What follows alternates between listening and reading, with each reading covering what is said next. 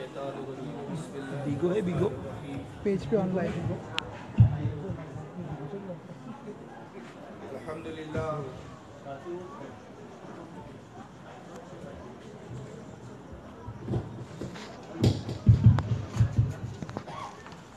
अल्हम्दुलिल्लाह रब्बिल आलमीन वल आखिरतु लिल मुत्तकीन वस्सलातु वस्सलामु अला मन कान नबिय्यु आदमु बैनल मा'i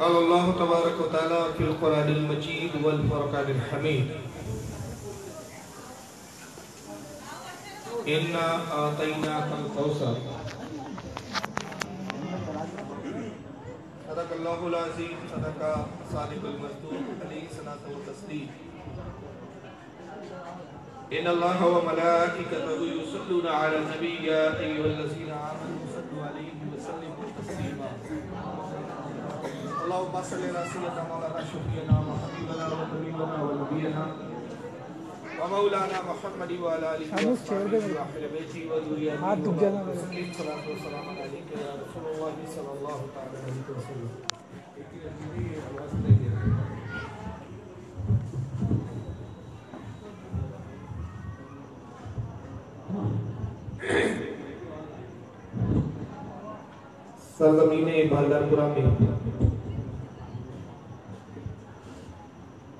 हज़रत सैदना बाबा मीर मछली शाह अली शानू उनके उर्स पाक की इस मुबारक मौके पर आज की एक रोज़ा मजलिस का इनका किया गया है। बिल्कुल अचानक ये प्रोग्राम रखा गया। कल इत्तेफाक की बात थी कि मैं यहाँ पर नाती चौक पे गालिबन मगरिब के कुछ पहले जनाब रफीक भाई, शकील भाई हमारे सिल्क कवर वाले, उनकी दुकान पर किसी काम की मदद से हाजिर हुआ था चेयर दे मेरे को यहाँ रखना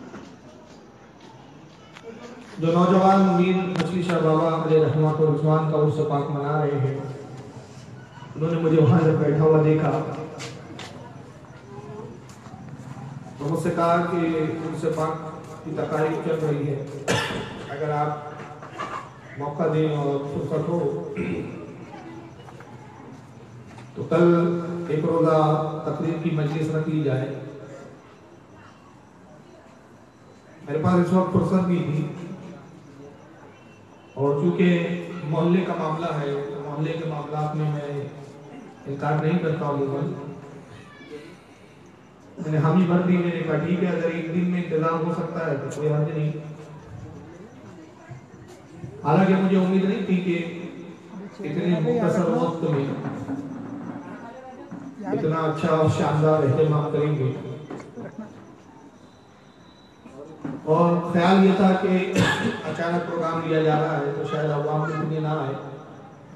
बीस पच्चीस लोग जमा हो जाए तो काफ़ी है, लेकिन अल्लाह का फजल है कि सिर्फ़ आज ही जो एक दूसरे से कहा गया और एक दूसरे को इत्तला दी गई, एक अच्छी तादाद में मजमा जमा हो गया।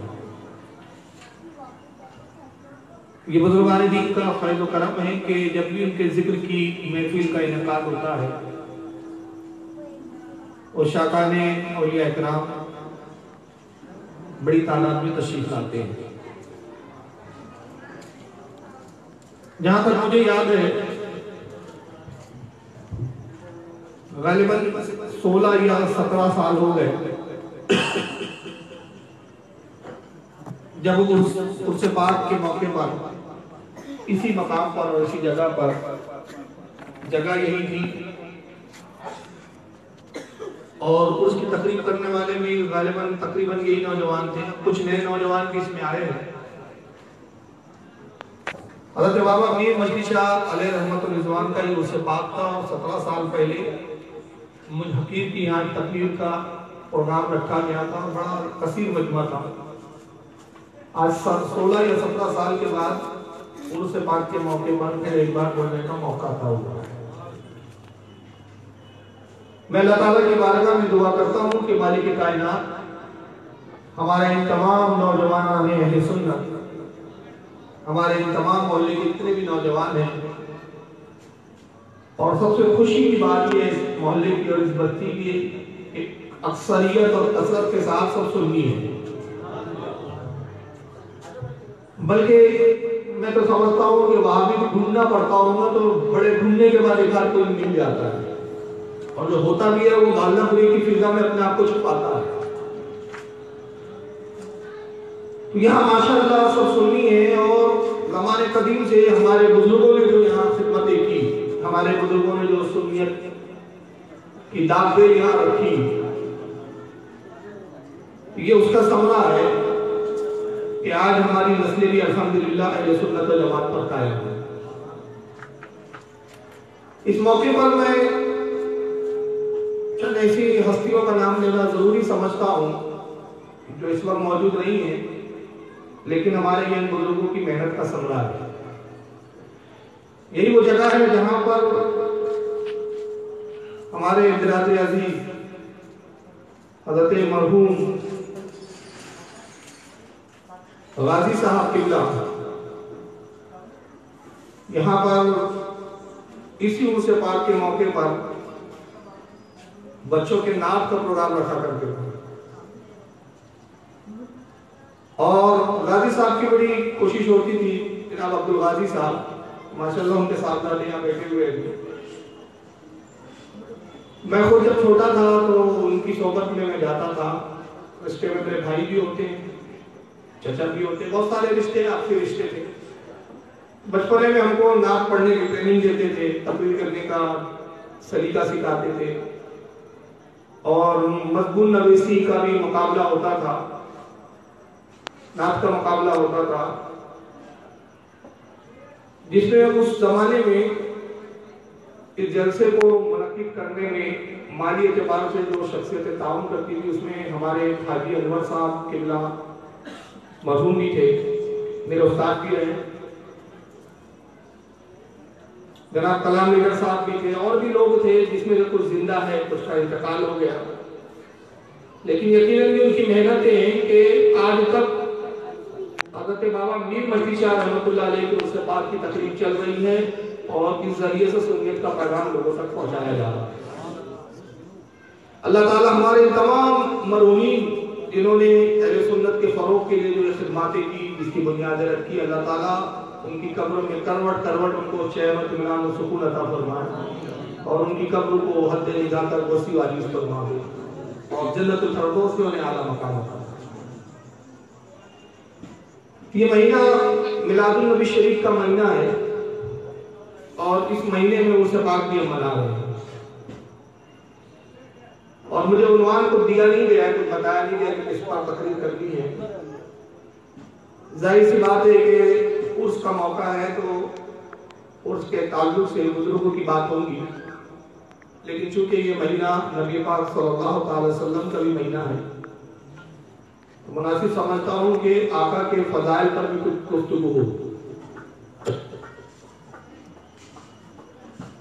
मैंने कुरान अजीम की जो आयत करीमा पढ़ी है, बड़ी मशहूर आयत है और मैं समझता हूँ कि मुसलमानों के बच्चे बच्चे को ये सूरत याद है। बहुत मुख्तसर सी और छोटी सी सूरत है। इसमें अल्लाह इरशाद फरमाता है इन आतना कल कौसर। एक लफ्ज का अगर हम तर्जमा करें तो आयत का तर्जुमा यह है कि इन्ना, बेशक। आताइना। हमने अता किया, कल कौसर। काफ पे जबर हो तो यहाँ काफ़ी के मायने में निकलता है। ये लका से मुश्तक है। कल कौसर के मायने ये हुए कि आपको अता किया।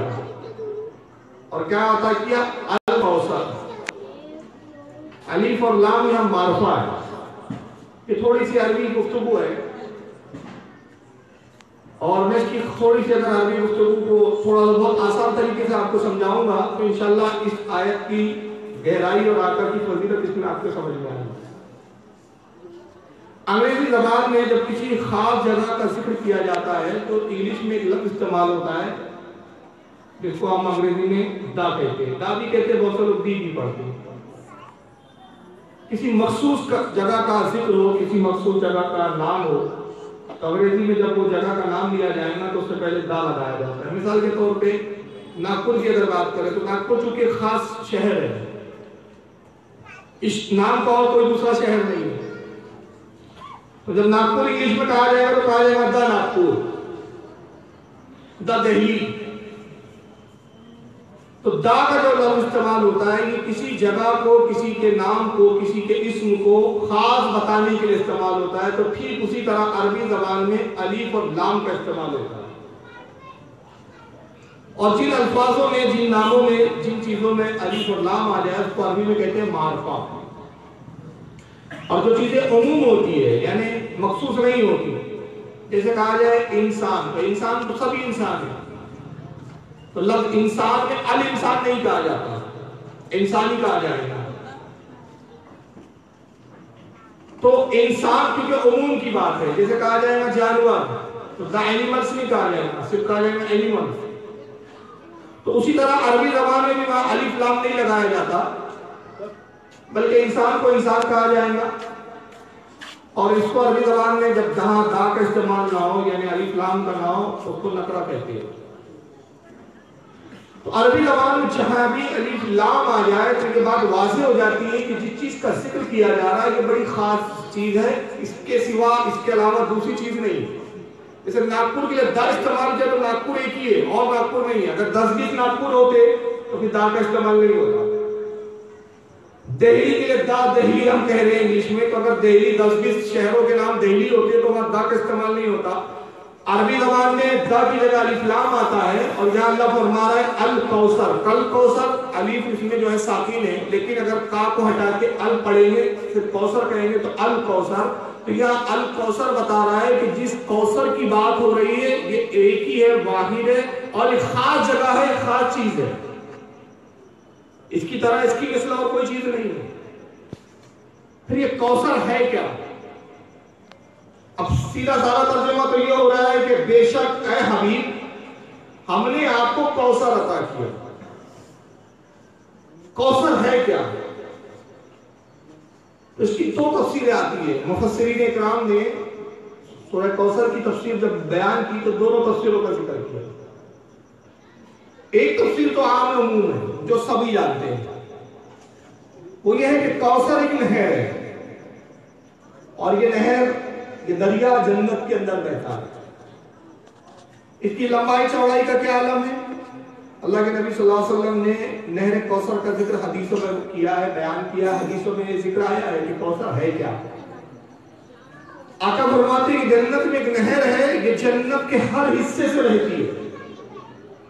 अब अगर मैं दूसरे लफ्जों में कहूँ कि दुनिया में जितने दरिया है, जितने समंदर है, कौसर के सामने कतरे के बराबर है। आप कहेंगे कि अंदाज़ा आपने कैसे लगा लिया? कि नहर कौसर जो जन्नत की है, दुनिया के तमाम पानी, तमाम समंदर कतरे के बराबर है। तो उसका सीधा सा जवाब यह है कि जन्नत इतनी बड़ी, इतनी लंबी चौड़ी है कि जिसकी हदें किसी को नहीं मालूम। आका ने सिर्फ़ जन्नत की उसत के लिए एक मिसाल दी है, फरमाया कि जन्नत के सात दरवाजे सात दरवाजे दाखिल होने के लिए और हर दरवाजे की जो चौखट है तो चौखट के एक किनारे से एक घोड़सवार दौड़े और चौखट के दूसरे किनारे तक आए तो आका फरमाते, इसको सत्तर हज़ार साल लग जाएँगे। फिर ये सत्तर हज़ार साल कहाँ की बात हो रही है? हमारे दुनिया की नहीं। हमारे दुनिया में सत्तर हज़ार साल की बात नहीं हो रही है, इसलिए कि दूसरी हदीस में तशरी करती है, आका फरमाते हैं कि जब तुम्हारी दुनिया में, इस दुनिया में सत्तर हज़ार साल गुजरते हैं, वहाँ का एक दिन पूरा मुकम्मल होता है। ये वहाँ के सत्तर हज़ार, यानी अगर उसको समझना है तो सत्तर हज़ार को सत्तर हज़ार से मल्टीप्लाई करना पड़ेगा, सत्तर हज़ार को सत्तर हज़ार से जरब देना पड़ेगा। तो आप घर पे जाके कैलकुलेटर से कर लेना तो एक अंदाज़ा हो जाएगा कि हमारे दुनिया के एतबार से कितने हज़ार साल लगेंगे। सिर्फ़ कितने जगह का फासला बताया गया है। फासला ये बताया गया है कि जन्नत की इस चौकट से इस चौकट तक एक घोड़ सवार, तेज रफ्तारी से, आहिस्ता आहिस्ता नहीं पूरी फुल स्पीड से अगर वो दौड़ते हुए अपना घोड़ा ले जाए तो सत्तर हज़ार साल लग जाए। क्योंकि तो एक दरवाजे के दरमियान का फासला वैसे जन्नत के सात दरवाजे। और दरवाजे घर का एक बहुत छोटा हिस्सा होता है। एक बहुत बड़ा महल है, उसमें दरवाजे की हैसियत कितनी होती है? बहुत छोटी होती है। कोई कितना ही बड़ा बंगला बनाए, दरवाज़ा ज़्यादा से ज़्यादा तीन फीट, साढ़े तीन फीट, चार फीट, पाँच फीट, छह फीट, इससे इससे ज़्यादा चौड़ा दरवाज़ा नहीं रहता। लेकिन घर और बंगले जो है कई कई स्क्वायर फीट में होते हैं। एक मकाम पे आकर फरमाती हैं कि जन्नत जानते हो कितनी बड़ी है? साहबा ने अर्ज़ किया, अल्लाह रसूल बेहतर जाने। फरमाया कि ये बताओ तुम्हारे बस्ती में कचरे डालने की जगह कितनी होती है? अब ये एक बस्ती है, पूरा बालदापुरा अब बालदापुरा में तो कई जगह लोग कचरा डालते हैं। लेकिन मैं सिर्फ़ इतने एक इलाके की बात करूँ, जिस इलाके में हम बैठे हैं। ये नातिक चौक के इतराफ का इलाका ये इस पूरे इलाके में कचरा तक कितना है? क्या पूरी बस्ती के बराबर है? बस्ती का एक कोना। एक इलाके का कोई एक कोना होता है जहाँ लोग कचरे का ढेर कर देते हैं। तो साहबा ने अर्ज़ किया कि अल्लाह के नबी हमारे बस्तियों में जो कचरे की जगह होती है, वो एक कोना होती है, छोटी सी जगह होती है। फरमाया पूरी कायनात जन्नत के मुकाबले में कचरे के ढेर के कोने के बराबर और कायनात में सिर्फ़ ज़मीन नहीं है। आसमान, चाँद सूरज सितारे सब आ गए। और अगर मैं जन्नत की उसद बताऊँ, जन्नत की लंबाई, चौड़ाई, ये तो आज तक किसी ने नहीं जाना। किसी ने जाना ही नहीं। किसी को पता ही नहीं, सिवाय अल्लाह उसके रसूल के। हत्ता के दरोगा रिजवान दरोगा जन्नत, रिजवान भी नहीं जानता कि जन्नत कितनी बड़ी है। दरोगा है जन्नत का, लेकिन उसको भी जन्नत नहीं पता कितनी बड़ी है। दलील क्या है?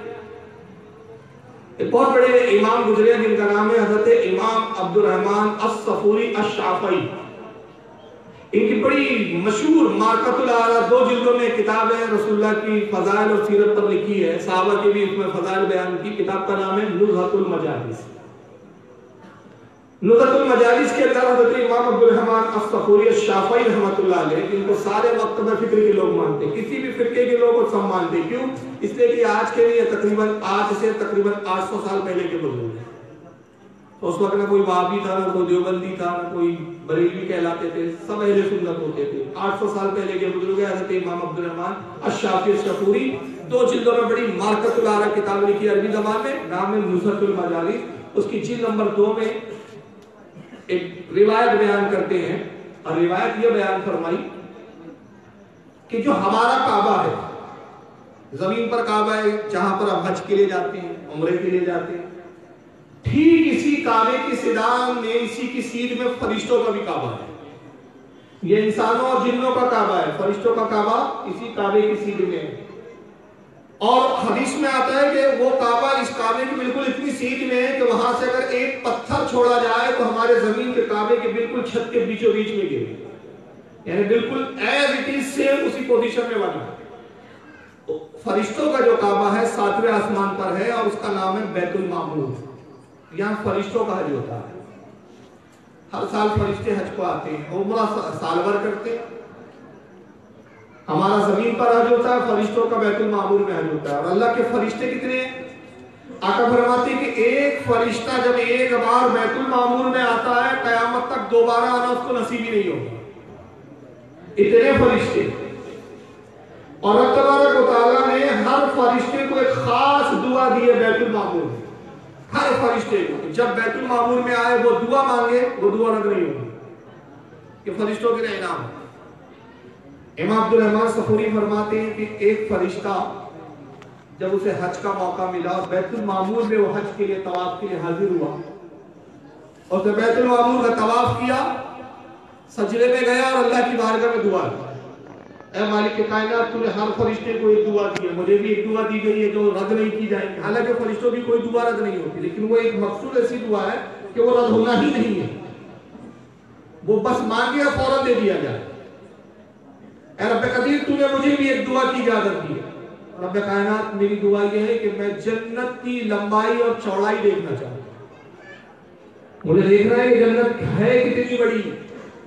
कहाँ से शुरू होती है और खत्म कहाँ होती है? तो रब कदीर तूने मुझे दो पर दिए। मैं चाहता हूँ कि मुझे सत्तर फ़र्ज़ अता किए जाए, ताकि इन सत्तर फरोग से मैं प्रवास करूँ और जन्नत की लंबाई और चौड़ाई हो ये सत्तर पर क्यों मांगे फरिश्ते वो भी जानता था कि जन्नत कोई छोटी मोटी जगह नहीं है। और दो परों से, हर फरिश्ते को दो पर है। सिर्फ़ वाहिद एक फरिश्ते है जिनको दो नहीं है, बहुत ज़्यादा है। छह सौ पर है। और वो कौन से फरिश्ता है? वो जिबरी जिबरील अलैहिस्सलाम है। जिनको परवरदिगार आलम ने 600 पर दिए और हर फरिश्ते को दो पर दिए और दो परों की परवाज उड़ने की जो ताकत है दुनिया का कोई रॉकेट, कोई प्लेन, कोई एयर, एयरप्लेन जो है उसका मुकाबला नहीं कर सकता। आका ने मिसाल यूँ दी है फरिश्तों की परवाज की, रफ्तार की कि जितनी देर में तुम आग नहीं झपका लेते हो, उससे भी पहले, यानी आग झपकाने में भी कितना लगता है? साइंस की जबान में बताओ एक सेकंड का सोलवा हिस्सा। एक बटे सोलह, यानी एक सेकंड को अगर सोलह हिस्सों में डिवाइड करें, उतनी देर में पलक झपका लेते एक सेकंड से भी बहुत कम। तो जितनी देर में पलक नहीं झपकाते, अगर एक फरिश्ता आसमान में और ज़मीन पर आना चाहे तो वो उसकी परवास का आलम यह है कि जितनी देर में तुम पलक ना झपकाओ, वो आसमान से ज़मीन पर उतार। ये रफ्तार है फरिश्तों दो परों के साथ। तो अंदाज़ा लगाइए जब दो परों की ये परवाज है तो 600 परों की परवाज क्या होगी? तस्वूर ही नहीं कर सकते आप। तो फरिश्ते ने कहा, मुझे सत्तर पर दे अब सत्तर पर दिए गए तो दो पर्वों के मुकाबले में रफ्तार सत्तर गुना बढ़ गई। और दूसरी दुआ की परवरदिगार जन्नत देखना चाहता अल्लाह ने फरमाया, तेरी दुआ कबूल की गई जा जन्नत दे। अब दरवाजे पे आया जन्नत के? दरोगा जन्नत को सलाम किया, कहा कि रब का हुक्म है कि मुझे जन्नत दिखाई जाए। दरोगा जन्नत ने कहा, मुझे रब का हुक्म मिला तुझ पर सलामती हो अल्लाह की। जा जन्नत की गहराई को, लंबाई, चौड़ाई को देख, जन्नत की सैर कर। अब उड़ने लगा। अब जन्नत के दरवाजे से उसने परवाज शुरू की। इमाम अब्दुलरहमान सफूरी हदीस नकल कर रहे हैं कि आका फरमाते, वो उड़ता रहा उड़ता रहा एक लाख साल लगातार बगैर ठहरे, बगैर रुके उड़ता ये एक लाख साल भी वहाँ के यहाँ के नहीं यानी फिर सत्तर हज़ार को आप एक लाख से मल्टीप्लाई करेंगे। सत्तर सत्तर हज़ार लाख हो जाएँगे। अच्छा आजकल हज़ार करोड़ का आंकड़ा बहुत चल रहा है ना नोटबंदी में। अब अरब बोलना बंद कर दिया गया। पहले एक अरब बोलते थे, अब बोलते नहीं, एक हज़ार लाख।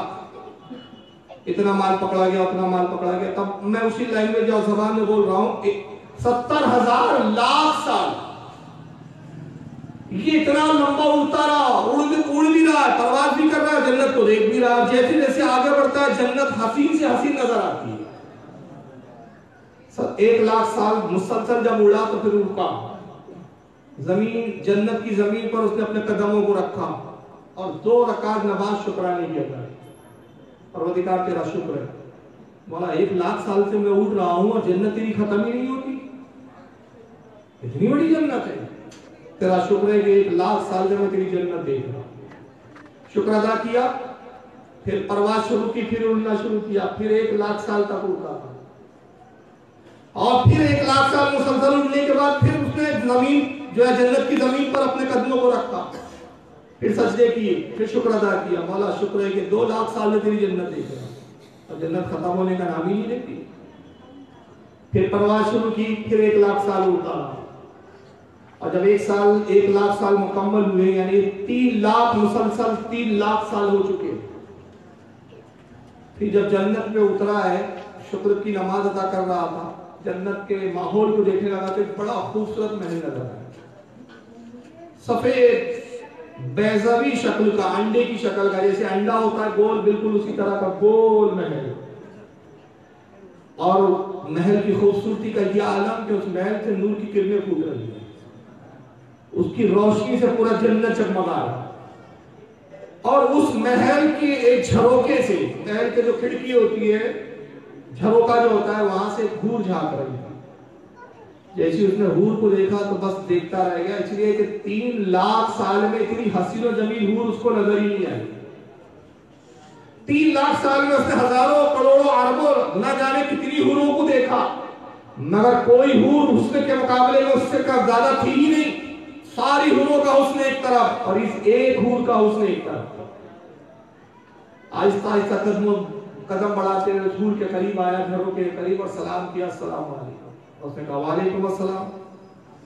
कहा और कसम रब कायनात की, रब ने तुझे वो हुस्न दिया कि पूरी जन्नत में मैंने ऐसी हसीन हूर देखी तेरे हुस्न ने मुझे, तेरी तरफ़ मुतवज्जे और मुतासिर किया। अहूद क्या तू बता सकती है कि तू जन्नत में किसकी बीवी है? कहा भी मेरा शोहर पैदा नहीं हुआ। मेरे शोहर की अभी विलादत नहीं है वो आलम अरवाह में है। अभी उसकी जलवागरी को वक्त है। कहा तू अपने शोहर के बारे में कुछ तो जानती होगी? कहा मेरे रब ने मुझे बताया।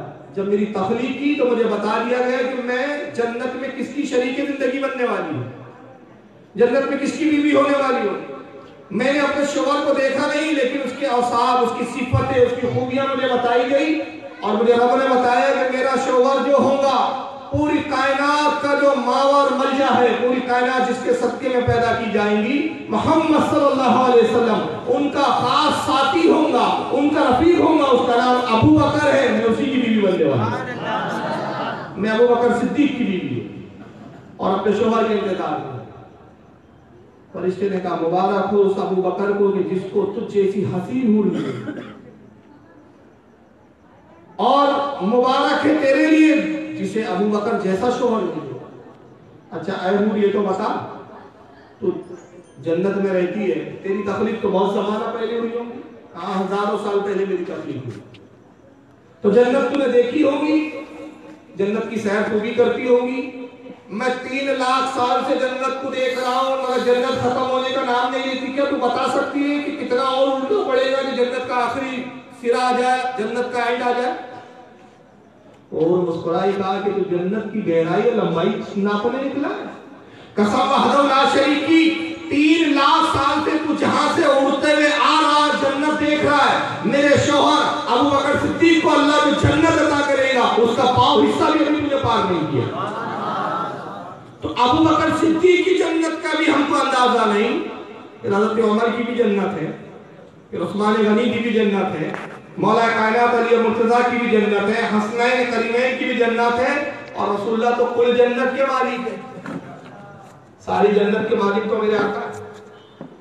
तो जन्नत की लंबाई चौड़ाई मालूम नहीं, लेकिन आका नहर कौसर के बारे में बयान कर रहे हैं, फरमाते हैं कि जन्नत का कोई ऐसा किनारा नहीं, जन्नत का कोई ऐसा हिस्सा नहीं जहाँ मेरी नहर कौसर न गुजरती पूरी जन्नत में गुजर रही है।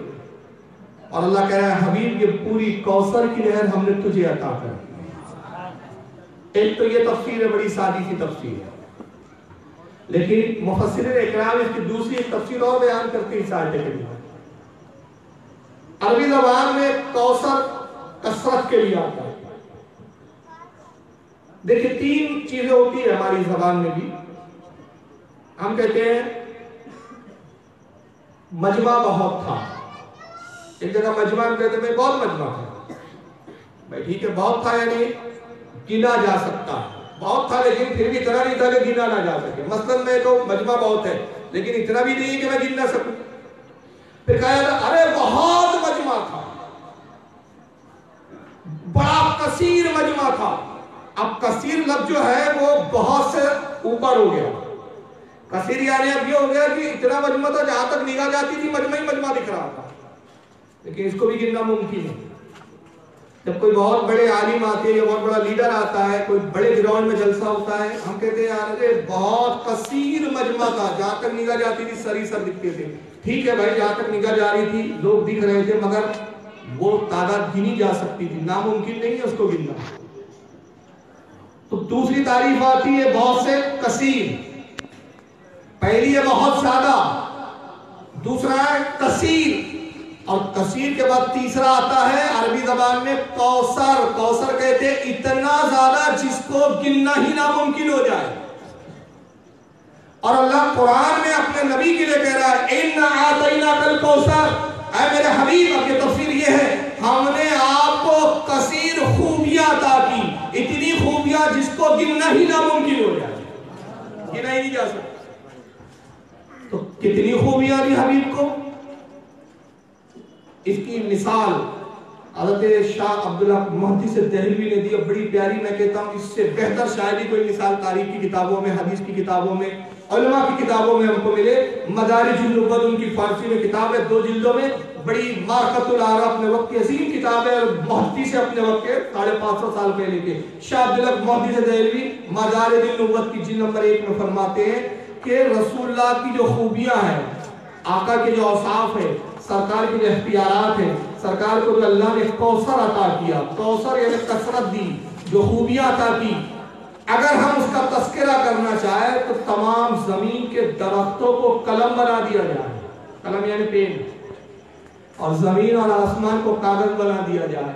और जितने दुनिया में पानी है, समंदर हो, चाहे लहरें हो, चाहे दरिया हो, सारे पानी को स्याही बना दिया जाए इंक बना दिया जाए और दरख्तों के कलम से आसमान और ज़मीन की स्याही पर मुस्तफ़ा सल्लल्लाहु अलैहि वसल्लम के आसाम लिखे जाए।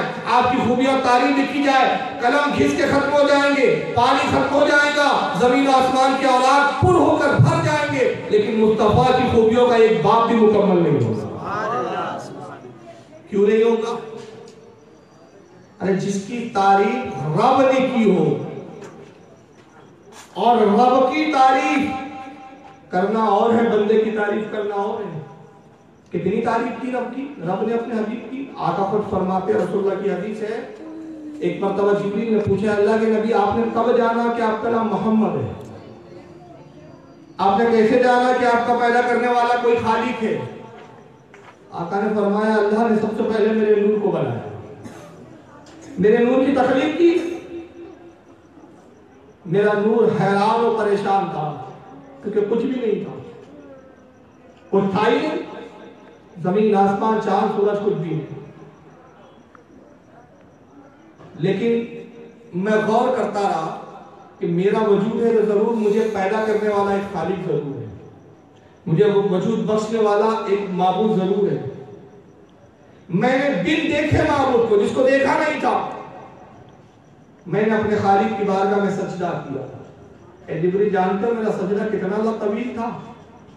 देखिए, अब ये समझाने के लिए, इसलिए कि रसूलुल्लाह जिस जगह की बात कर रहे हैं, वहाँ वक्त ही नहीं है। टाइम ही नहीं है। क्योंकि वक्तों का तयन होता है, चाँद और सूरज की गर्दिशों से। सूरज तुलू हुआ, हम कहते दिन निकला। सूरज गुरूब हो गया, हम कहते दिन खत्म हो गया। चाँद निकला, हमने कहा रात शुरू हो गई। चाँद डूब गया, हमने कहा रात खत्म हो गई। तो ये सूरज के निकलने, डूबने, चाँद के निकलने और गुरूब होने से हम वक्त का तालीम करते हैं, वक्त को शुमार करते हैं। भाई, दोपहर का इतना वक्त हो गया, शाम हो गई, अब सूरज डूब गया तो भाई रात हो गई, अब चाँद निकला तो रात शुरू हो गई चाँद गायब हो गया तो रात खत्म हो गई? तो ये टाइम पीरियड साल, दिन, महीने हम सूरज की गर्दिशों पे करते हैं, तय। लेकिन आका का जब नूर पैदा हुआ है, तब ना चाँद है, ना सूरज है तो वक्त का कोई तालीम ही नहीं। वक्त ही नहीं है। और वक्त नहीं है तो यहाँ एक बात और समझ में आती है कि रसुल्ला का नूर जब तकलीफ़ हुई तो वक्त नहीं था। ताकि बता दिया गया कि वक्त मेरे मुस्तफ़ा का मोहताज है, मुस्तफ़ा वक्त के मोहताज नहीं। वक्त मुस्तफ़ा चलाते हैं। वक्त मुस्तफ़ा को नहीं चला सकते। लेकिन हमारे समझाने के लिए कहा गया कि बस तुम ये जानो कि जितना अरसा मैंने सजदा किया, वो सत्तर हज़ार साल का ये सत्तर हज़ार तो समझाने के लिए इसलिए बोला गया कि आपको एक बहुत बड़ा फिगर मिल जाएगा। देखिए, बहुत बड़ा वक्त होगा जब रसूलुल्लाह सजदे में एक सजदा सत्तर हज़ार साल का। फिर खिताब हुआ, तुम या मोहम्मद? मोहम्मद सर उठाइए। मोहम्मद के मायने क्या होते हैं? सबसे ज़्यादा तारीफ़ किया गया। ये ये पहला खिताब था। कम या मोहम्मद मोहम्मद सर उठाइए। आका फरमाते, जब मैंने अपने रब का कलाम सुना तो तब मैंने जाना कि मेरा नाम मोहम्मद है। तब मुझे मालूम है मेरा नाम मोहम्मद है। और चूँकि मुझे मोहम्मद से मुखातिब किया गया, ये कहा गया कि सबसे ज़्यादा तारीफ़ किया गया तो मैंने शुक्र में फिर दूसरा सजदा किया। जानते हो जब मैंने सजदा किया तो मेरी तस्बीह क्या थी? मेरी तस्बीह थी, ला इलाहा इल्लल्लाह, ला इलाहा इल्लल्लाह, ला इलाहा इल्लल्लाह। नहीं कोई माबूद सिवाय अल्लाह के, नहीं कोई इबादत के लायक सिवाय अल्लाह के। मुझे अल्लाह ने मार्फत दे दी? मैंने जान लिया कि एक रब है, अल्लाह है, जिसने मुझे पैदा किया, जिसने मेरा नाम मोहम्मद रखा। तो मैं तस्बीह सत्तर हज़ार साल तक ये करता रहा, ला इलाहा इल्लल्लाह, और मेरा रब सत्तर हज़ार साल तक कहता रहा, मोहम्मद रसूलुल्लाह मोहम्मद रसूलुल्लाह, मोहम्मद अब जिसकी तारीफ़ रब कर रहा हो, उसकी खूबियाँ, उसके अवसाफ हम जान सकते हम नहीं जान सकते। और याद रखिए, सारे ज़िक्र मिट जाएँगे, लेकिन मुस्तफ़ा का ज़िक्र नहीं मिटेगा। भाई, हम हर बुज़ुर्ग का ज़िक्र कर रहे हैं ना? गौस पाक का ज़िक्र करते हैं गौस पाक का ज़िक्र कब तक है? जब तक मखलूक है। इंसान है, जिन्नात है, फरिश्ते हैं। फरिश्ते भी बुज़ुर्गों का ज़िक्र करते हैं, अंबिया का ज़िक्र है। और भी रसूलों का ज़िक्र हो रहा है। सारे नबियों का ज़िक्र उस वक्त तक है, जब तक मखलूक मौजूद है। मगर एक वक्त ये भी आएगा कि कयामत का जब दिन आएगा, सारी मखलूक फना कर दी जाए। मगर मुस्तफ़ा का ज़िक्र नहीं मिटेगा वजह यह है कि कुरान में अल्लाह खुद फरमाता है बेशक अल्लाह उसके फरिश्ते फरिश्ते तो खत्म हो जाएँगे, मगर रब की रात को फना नहीं है तो फरिश्ते भी मुस्तफ़ा का ज़िक्र कर रहे हैं और खुदा भी अपने हबीब का ज़िक्र कर रहा है। सब फना हो जाएगा, लेकिन रब को फना नहीं है तो मुस्तफ़ा का ज़िक्र तमाम मखलूक के फना के बाद भी जारी रहेगा। तो पता चला कि सारे ज़िक्र मिटने वाले हैं, लेकिन मुस्तफ़ा का ज़िक्र मिटने वाला नहीं तो जिसका ज़िक्र ना मिटे, जिसका तस्करा ना मिटे तो उसकी खूबियाँ आप और हम नहीं जान सकते। बस एक मोटे जुमले में हमें बता दिया गया कि हमारे नबी की अजमत को पहचानो। कल कौसर। हमने अपने हबीब को कौसर अता किया। इतनी खूबियों का मालिक बनाया, जहाँ अक्ल दम तोड़ देती है हमारे हबीब की फजीलत वहाँ से शुरू होती। है जहाँ अक्ल दम तोड़ दे। इसलिए हज़रत हसान ने जब कहा तो हज़रत हसान ने वो तारीफ़ की रसुल्ला की, वो तारीफ़ की रसुल्ला की कि मैं कहता हूँ, एक तरफ़ दुनिया में आज तक जितने लोगों ने रसूलुल्लाह की खूबियाँ बयान की, जितने लोगों ने नबी पाक सल्लल्लाहु अलैहि वसल्लम की तारीफ़ की, एक पल्ले में रख दिया जाए। और साहबी रसूल हज़रत हसन इब्न साबित रज़ी अल्लाह की तारीफ़, एक शेर को एक पल्ले में रख दिया जाए तो हज़रत हसन का ये शेर तमाम लोगों की तारीफों पर वजनी है। और वो तारीफ़ क्या थी? आका जानते थे कि हसन क्या कहने वाला है मेरे बारे में? जब हज़रत हसन हाजिर हुए सही बुखारी की हदीस है, अर्ज़ के अल्लाह के नबी सल्लल्लाहु अलैहि वसल्लम, मैंने आपकी तारीफ़ में कुछ अशार लिखे हैं। सरकार इजाज़त हो तो मैं आपकी तारीफ़ बयान करूँ? आका ने कहा हसन यूँ नहीं, हुजूर मिंबर पे बैठे हुए थे। आप मिंबर से उतरे हसान का हाथ पकड़ा और मिंबर पे बिठाया कहा हसान, अब बयान करो और आप खुद फर्श ज़मीन पर आ गए। गोया मुस्तफ़ा ने बताया, जो मेरी तारीफ़ बयान करता है, मुस्तफ़ा उसका मकाम बुलंद कर दिया अब हसान, आप बयान करो। रसूलुल्लाह खुद फर्श ज़मीन पर बैठे आज लोग पूछते हैं कि ये नाथ खानी की महफिल क्यों रखी जाती है? ये बरेलियों ने कहा से ला दिया हमने कहा, तुम्हें मालूम नहीं, अपनी जहालत को तुम बरेलियत का नाम मत दो। बरेलवी पढ़े लिखे फिरके का नाम है, पढ़ी लिखी जमात का नाम है। हम जानते हैं कि ये नाथ खानी की महफिल हमने रसूलुल्लाह की बारगाह से हज़रत हसान के वसीले से ली है। हज़रत हसान को मेंबर पे बिठाया। आका खुद फर्श ज़मीन पर बैठे। अब हज़रत हसान ने शेर पढ़ा और वो शेर जो एक पल्ले में रखो, दुनिया की तमाम तारीफ़ है दूसरे पल्ले से। हज़रत हसान का शेर सब पर हज़रत हसान अर्ज़ करते वो अहसनो मिन कलम तरकत तो आईनी वो अजमलो का मिन तलिदिन निसाउ खुलिकत मुबर्रअन मिन कुल्ल ऐबिन कअन्नका कद खुलिकत कमा तशाउ कहते हैं कि अल्लाह के रसूल सल्लल्लाहु अलैहि वसल्लम किसी आँख ने आपसे ज़्यादा हसीन और जमील आज तक देखा ही नहीं ऐसी कौन सी आँख है जो दावा करेगी, हम मुस्तफ़ा हमने आपसे ज़्यादा हसीन देखा है। मैं शेर की तशरीह करना चाहूँगा। रुक जाइए, कितना हसीन? जो कुछ साहबा ने देखा, वो सत्तर हज़ार गैबी पर्दों के परे देखा। हकीकत मुस्तफ़ा तो किसी ने देखा ही नहीं। हज़रत बायजीद मुस्तामी बहुत बड़े बुज़ुर्ग गुजरे। नाम सुनाऊँगा आपने? सरकार गौसे पाक से भी पहले के और हज़रत सैयदना गौसे पाक रज़ी अल्लाह की किताब इस इसका नाम है फुतुल गैब फुतुल गैब में हज़रत बायजीद मुस्तामी की बड़ी तारीफ़ लिखी है। अब बात बायजीद की तो मैं एक बात अर्ज़ करता चलूँ, क्योंकि उसकी भी तकरीब है, मैं उस पर भी वलियों पे भी हमको बात करनी है, लेकिन मैं रसूल के ज़रिए से औलिया तक आना चाहता हूँ। आजकल बड़ी सस्ती हो गई। आजकल जो नमाज़ नहीं पढ़ता, वो सबसे बड़े बाबा जो जितनी लंफन की बातें करेंगे, वो बड़े मामू मस्जिद में जाना नहीं होता उनसे। क्यों? हमारी नमाज़ अर्श आज़म पर ताजुब की बात है यार। यहाँ की यहाँ मस्जिद है वहाँ चलना आपसे होता नहीं और अर्श आज़म पे हज़ारों मील जाने की मसाफत तय कर रहे हैं आप तकलीफ़ क्यों उठा रहे भाई? अब बिना टिकट के जाते हैं।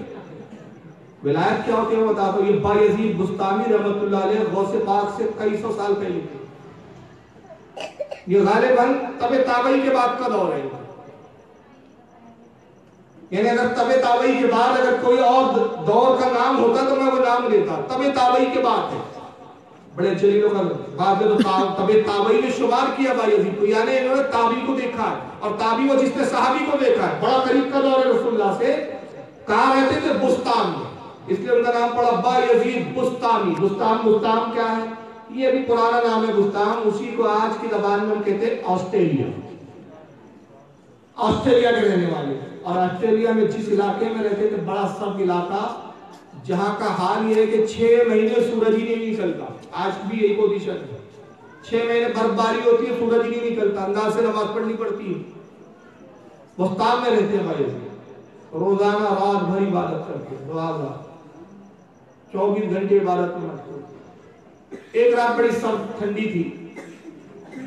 दिल में ख्याल आया, ताजुब के लिए उठे, ताजुब के पावन थे। रात भर नवाफिल का भी मामूल था। एक रात उठे, दिल में ख्याल आया, नफ्स ने कहा कि भाई अजीत रोज तो इबादत करके आज बहुत ज़्यादा ठंडी है, सो जाओ। आराम कर लो। फिर दूसरे ही लम्हे ख्याल आया कि भाई अजीत अपने नफ्स की पैरवी करता है। फिर अपने नफ्स से कहा नफ्स, तुझे आज सजा देता तूने कहा तो कैसे कहा कि आज सो जाओ? अब सजा क्या दी है, पता है? विलायत इसको कहते हैं, भाई, दस अंगूठी पहनने का नाम वली थोड़ी है। अगर इतनी सस्ती है तो फिर आप भी आप में से हर कोई बाबा बन सकता है। छह सौ, पाँच सौ रुपए की ज़रूरत है, दस, बीस अंगूठी ला लो, पहले तो बाबा हो इतनी सस्ती नहीं है विलायत काफ़ी ऐ नफ्स तुझे आज सजा देता हूँ। सजा क्या दी? उतनी रात को बर्फ़ को पिघलाया ठोक ठोक के उसको गर्म किया, पानी बनाया और उससे गुस्ल किया। और उसके बाद अपने कपड़ों को पानी में भिगा के पहन लिया और उसके बाद पूरी ज़िंदगी जब भी कपड़े पहनते, गीले करके पहनते, ठंडी की वजह से बदन थोड़ाता था, बदन कांपता था, जहाँ कुर्ता सूखता, फिर गीला करते और उसी आलम में पूरी ज़िंदगी गुजार दी। और जब ठंडी से परेशान होते तो अपने नफ्स से कहते हैं नफ देखा एक रात सोने का मज़ा, अगर फिर ना तो इससे बड़ी सजा दूँगा ये वली हुआ भाई मुस्तामी रहमतुल्लाह एक मरतबा कसाब के दुकान पर आते हैं। कसाब की दुकान पे आया कहा कि भाई एक गोश्त का बहुत बड़ा लुथड़ा दे दो। एक किलो का एक ही हुआ गोश्त। हो एक किलो क्या हुआ हेलो? हेलो?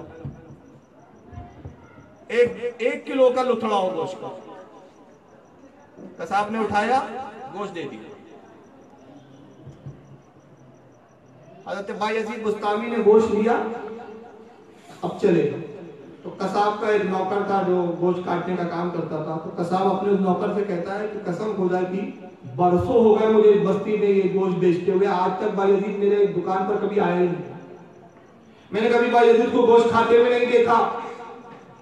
जरा पीछा करो ये एक, एक किलो का गोश्त का पूरा एक ही लोथड़ा ही लेकर क्यों कहा गया और क्या मकसद है जरा पीछा करो। और बताओ बताओ, लगाओ, बताओ मुझे क्या मामला है इनका। वो कसाब निकला साहब, उसका नौकर। ये बहुत दूर एक जंगल में आए, चट्टान पे, पोटली में से गोश्त का वो लोथड़ा निकाला, रख दिया, उसको देखते रहे बहुत देर तक देखते रहे। और उसके बाद अपने नफ्स से कहते हैं नफ्स, चालीस साल हो गए तुझे गोश्त खाए हुए। चालीस साल से तूने गोश्त नहीं खाया, आज सुबह से तू बहुत कह रहा था, गोश्त खा गोश्त खा, गोश्त दे मगर कसम खुदा की, मैं तुझे इसमें से एक जर्रा भी नहीं खिलाऊँगा। उसके बाद निगाह फिर क्यों चले? क्या मतलब था? नफ्स को ऐसे जलील किया साहब, ऐसे जलील किया उसकी तलब पूरी नहीं की तो जो नफ्स को मारता वो वली होता है। और मैं इसमें एक बात याद आ रही है, असल में बुज़ुर्गों की जब बात चले तो बात में से बात याद आती है। ताजाबाद शरीफ जाइए अभी तो खैर तोड़ दिया गया सब कुछ। अगर पुराना थोड़ा सा मंजर आपको याद हो थोड़ा सा मंजर पुराना तो मैं दो बुज़ुर्गों का एक तस्करा बताता हूँ आप पीछे अगर गए होंगे ताजाबा शरीफ वज़ू खाना है, मस्जिद का वज़ू अब वो भी टूट गया है। पुराना तस्वुर कीजिए, अभी टूटने से पहले का मंजर। वज़ू खाने की तरफ़ से पीछे से आइए दूतिया कुएँ की तरफ़ से। दो मजारे आपको नज़र आती थी अब गुंबद तोड़ दिए गए मजारे तो अल्हम्दुलिल्लाह मौजूद है। सफ़ेद एक तरह की गुंबद आपके सामने। देखा है आपने? ये कौन थे? मुझे इनका भी नाम तो ध्यान में नहीं है फ़िलहाल। ये सरकार ताजिल औलिया के खास गुलामों में से। अब दोनों वक्त के मजदूर, दोनों भाई थे और जज्ब की कैफियत दोनों मजदूर थे अब दोनों सगे भाई। इंतकाल का भी अजीब मामला था इनका। इंतकाल का मामला ये हुआ इनका कि सरकार ताजिल औलिया का विशाल हो गया। दफन कर दिया गया। कब्र बन गई। उस वक्त दरबार वगैरह बना नहीं था। पूरा जंगल जंगल, बारिश के दिन आए, बारिश शुरू हो गई। नतीजा हुआ कि दरबार से लेकर रोड तक सब कीचड़ी कीचड़ ज़ाहिर जा नहीं पा रही। और बारिश रोज़ाना हो रही है। दो या तीन दिन गुजर गए, कोई भी जियारत करने के लिए दरबार नहीं पहुँचा बारिश की वजह से। अब कीचड़ इतना कि अगर आदमी दाखिल हो तो घुटने तक कीचड़ में फंस जाए। तो ये दोनों भाई जो थे, सरकार ताजुल और की कब्र पर खिदमत करते रहते थे खादी बन के पड़े रहते थे। उसमें से एक भाई बाहर निकलते और आसमान की तरफ़ जलाल से देख के कहते हैं, कितना बरसेगा? हल हो कितना हल हो जा। बस जैसी बंद हो जाए बोले तो पानी बंद हो दूसरे भाई आए, कहते, भाई, मशीयत इलाही में दखल अंदाजी क्यों करते हो? वो बड़ा सरा है उसकी हिकमत है। कुदरत के मामला में दखल मत दिया करो। एक बरस शुरू हो जाओ। शुरू हो जाए तो शुरू हो जाओ फिर बारिश गई अब जब मसूब जो होता है, अगर सिद्ध पकड़ ले तो भी किसी की नहीं सुनता। सालिक हो तो समझ लेता। मजदूर शस्त्र में आए तो नहीं समझता। मजदूर थे अब दूसरे भाई ने शुरू हो जाता, शुरू हुआ तो ये चलान में का उससे कहा बंद हो जा, बंद हो जा। तो बंद हो गया। फिर एक अबे तुझसे कहा ना चालू है। फिर चालू हो जा। अब दोनों भाई की तकरार ये कहते, बंद हो जा। वो कहते, चालू हो जा। बंद होता चालू होता ये तकरार बड़ी बड़ी और दोनों गिरे और वो इनके जिस्म से प्रवास कर वजह क्या थी? टकराव हो गया। विलायत में टकराव पैदा हो गया, तब इसके सिवा कोई हल ही नहीं था कि दोनों की रूह प्रवास कर। बहरहाल उनकी मजारे आमने सामने दूर दूर बनाई गई। दोनों भाई थे और दूर दूर बनाई गई कि भाई ये जलाल का झगड़ा खत्म ना हो जाए। उनमें से एक भाई थे, एक मरतबा जा रहे हैं बड़बड़ा के। देखिए क्या होता है वली, मैं वो बता रहा अंगूठियों का नाम वली नहीं।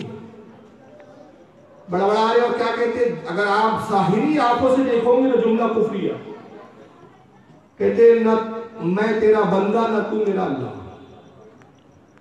मैं तेरा बंदा नहीं, तू मेरा खुदा नहीं।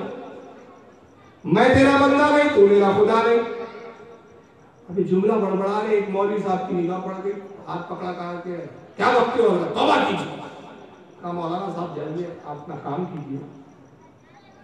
मुझे मालूम है मैं क्या कह रहा हूँ, आप इसको नहीं समझ सकते। ऐसी कौन सी बात है जो हम नहीं समझ सकते? हाँ आप नहीं समझ सकते। मौलाना ने इसरार किया कि हज़रत, जुमला तो आपका कुफ्र का है, आप बरा करम तोबा कर ले। और मैं आपसे तशरी चाहता हूँ इसलिए कि मैंने देखा है कि आप ताजुल औलिया की सोहबत में रहे हैं। ताजुब एक वली की सोहबत में रहे कि आप कुफ्र बकते हैं, तोबा कर लीजिए अच्छा मौलाना आप कहते हैं तौबा कर लेते रब्बी मिन ला इलाहा इल्लल्लाह मुहम्मदुर रसूलुल्लाह। आला हज़रत फरमाते अल मलफूज ने कि सच, सच्चे की पहचान ये है कि शरीयत के मुकाबले में कभी अड़ता नहीं अड़ेगा नहीं। उसकी मंशा वो जानता है, लेकिन अगर कोई हुक्म लगाए, अड़ेगा नहीं।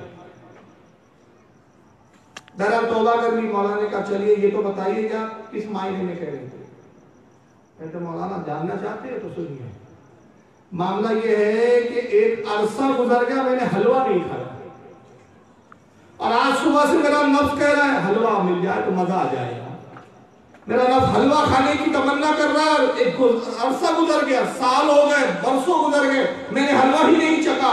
और हलवे के बगैर मेरी ज़िंदगी गुजर रही है। चाय का गुजारा है और कनात पर मैं गुजारा करता हूँ। लेकिन आज न जाने क्या बात है, मेरा नफ्स बार बार कहता है, हलवा खाने को मिल जाए तो कितना अच्छा। तो मैं अपने नफ्स से कह रहा हूँ, तेरी क्यों मानू? तू मेरा खुदा नहीं, मैं तेरा बंदा क्या तू मेरा खुदा है कि तेरी मानू मैं?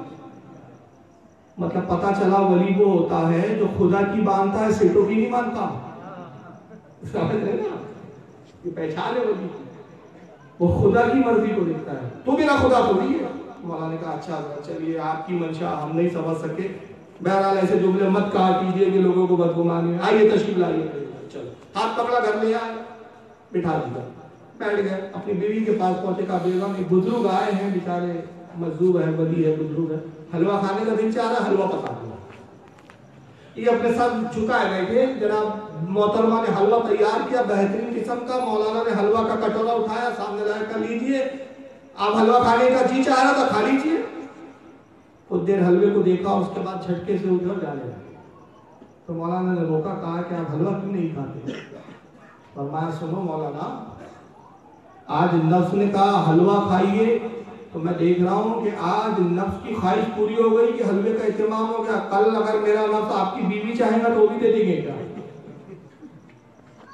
तो इससे पहले कि वहाँ तक नौबत आए, मैं नफ्स की जड़ यही काट देता हूँ कि ना तुझे हलवा मिलेगा, ना उसकी बीवी मिलेगी। चल, खत्म तो बहरहाल ये वली की बात होती है। भाई अजीत मुस्तानी की बात चल थी बात और निकल गई। इन्होंने बड़े सालों इबादत की। 24 घंटे इबादत में मशगूल है। इबादत का तो आपने ख्याल देख लिया खिताब हुआ, ऐ भाई तेरी इबादत से हम राज़ी हो मान, क्या मानता है? तेरी ख्वाहिश पूरी की जाए। अर्ज़ के रब कायनात सिर्फ़ एक तमन्ना क्या तमन्ना? परवरदिगार, तेरे हबीब को बेहिजाब देखना चाहता हूँ। हकीकत मोहम्मदी को देखना। तेरे नबी की हकीकत क्या है? अल्लाह ने फरमाया, भाई अज़ीज़, नहीं देख सकते। मौला तू करम फरमाए तो देख लो। अज़ीज़ जानते हो, हमने अपने रसूल को ज़मीन पर कितने हिजाबों में भेजा, हिजाब कहते हैं पर्दों को, गैबी पर्दे, जो हमारी निगाहों से नज़र ना आए, लेकिन पर्दे हैं। सत्तर हज़ार पर्दों के हिजाब में हमने हमने अपने नबी को भेजा। और भाई अज़ीज़, एक पर्दा उठने के लिए सत्तर हज़ार साल की बेरिया इबादत चाहिए। तेरी इबादत उतनी नहीं आज की मालिक कायनात बेशक सत्तर हज़ार साल की ना मेरी इबादत। और अगर ज़िंदगी तू दे दे तो मैं बेरिया इबादत भी नहीं कर सकता। लेकिन खाली के कायनात को कादिर तो ज़रूर है कि मेरी इस मुख्तसर सी इबादत को सत्तर हज़ार साल की इबादत के बदले को कबूल कर और एक हिजाब कम अज कम हटा दिया जाए मैं, एक हिजाब हटे हुए उस आलम में रसूल को देख लूँ कि एक हिजाब तो कम से कम हटाओ अल्लाह ने फरमाया, भाई अजीब आवाज़ आई भाई अजीब जाओ, खुला पहाड़ पर आओ। गुस्ल करो, कपड़े अच्छे पहन लो, नए कपड़े हो सके तो सेवे तन कर लो। एक तरह से अपने आप को खुशबू से मौतर करो। हमारा नबी वहाँ जलवागर होगा, और फिर तुम वहाँ पर भेजा दे भाई अज़ीज़, उस पहाड़ पर बड़े खुशी खुशी पहुँचे था। पूरी तैयारी के साथ। नबी करीम सल्लल्लाहु अलैहि वसल्लम ज़ाहिर हुए। अज़ीज़ ने बड़े अदब एहतराम से दस्तबोसी की, कदमों को बोसा दिया आका ने कहा, भाई अज़ीज़, मेरे पैर की तरफ़ देख। और फिर धीरे धीरे निगाह उठाना चेहरे की तरफ़ पैर की तरफ़ देख और धीरे धीरे निगाह उठाना। या रसुल्ला जो आपका हुक्म सरदार अब हुजूर के पैर की तरफ़ देखा, एक बिजली कौंदी एक बिजली चमकी भाई अजीब बेहोश होकर गिर गया जब होश में लाया गया तो आप तड़प रहे भाई अजीब क्या देखा? या रसुल्ला बस नूर था, एक रोशनी थी, कुछ नहीं नज़र आया। ताब नहीं थी कि बर्दाश्त करूँ, बेहोश हो गया। आखिर भाई अजीब कसम वहदुल्लाह शरीफ की, जो सत्तर हज़ार पर्दे गैबी थे, उन पर्दों में से एक पर्दा मेरे पैर के अंगूठे के नाखून से हटाया गया तो उसको भी न देख तो चेहरे को क्या देखेगा? उसी को अफ्तार जमन ने कहा, एक झलक देखने की ताब नहीं आलम को, वो अगर जलवा करे, कौन तमाशा एक झलक देखने की तो ताब है। वो अगर करम फरमा भी दे और अपने करम के ज़रिए जलवा दिखा भी दे तो तमाशा ही कौन है जो ये तमाशा देख सके? इसकी मजाल में मुस्तफ़ा वसल्लम की हकीकत को देख सके? तो जब हकीकत मुस्तफ़ा को कोई नहीं जानता तो जब हकीकत नहीं मालूम तो खूबी और सिफात कैसे मालूम होंगी? अरे बायजीद तो बायजीद है, तमाम अंबिया के बाद तमाम इंसानों में और तमाम जिन्नातों में भी सबसे अफसल तरीन कोई साथ है, वो अबू बकर सिद्दीक की जात है। और आकर अबू बकर से कह दिया, अरे अबू बकर, सुनो, मेरी हकीकत को सिवाय मेरे रब के किसी ने जाना नहीं। अब के अल्लाह के नबी क्या, मैंने भी नहीं कहा, अबू बकर, तूने भी अब बताइए, हकीकत मुस्तफ़ा को अबू बकर ना जान सके जो चौबीस घंटे साथ है। हिजरत में साथ है, घर में साथ है खिलवत में साथ है, मस्जिद में साथ है हर लम्हे मुस्तफ़ा के साथ है और आगे कह बकर, तू मेरी हकीकत को ना जान सका। मगर आज का बदअकीदा कहता मैंने जान लिया, मुस्तफ़ा के भी दो हाथ, मेरे भी दो हाथ, उनके भी दो पैर, मेरे भी दो पैर। तो हमारी तो तरह है। हमने कहा, अगर तेरी तरह है तो हुजूर कदम बढ़ाए तो एक कदम ज़मीन पे हो तो दूसरा अर्श मोल्ला पर हो। तो कदम बढ़ा के हिंदुस्तानी की तो बॉर्डर पार करके बता दे। मुस्तफ़ा का हाल बढ़ाए तो आलम क्या हो? सही बुखारी की हदीस है किताब सलात में इमाम बुखारी ने लाया। मुझे नहीं पता ये बुखारी कैसे पढ़ते हैं यार। मैं तो बुखारी की ज़्यादातर हदीसें कोट करता हूँ। किताब सलात के अंदर, बाबुल कुसूफ के अंदर ये हदीस आई है। हज़रत अनस इब्न मालिक रज़ी अल्लाह कहते हैं, सूरज गहन हुआ। सूरज को गहन लगा। हुजूर ने हुक्म दिया, सब लोग मस्जिद में आ मैं सूरज गहन की नमाज़ पढ़ाऊँगा, जिसको सलातुल कुसूफ कहते हैं सूरज गहन की नमाज़। फरमाते, आका ने नमाज़ पढ़ाना शुरू की। बड़ी लंबी किरत फरमाई, बड़ी लंबी किरत की आका ने। और इतनी लंबी सूरतें पढ़ी जो आम नमाजों में इतनी लंबी सूरतें नहीं पढ़ती, पढ़ते थे आप। फिर आप रुकू में गए तो बड़ा लंबा रुकू किया, इतना लंबा रुकू किया कि इससे पहले आपने कभी इतना लंबा रुकू नहीं फरमाया था। फिर आप सजदे में गए तो बहुत देर सजदे में रहे, और फिर सजदे से सर उठाया।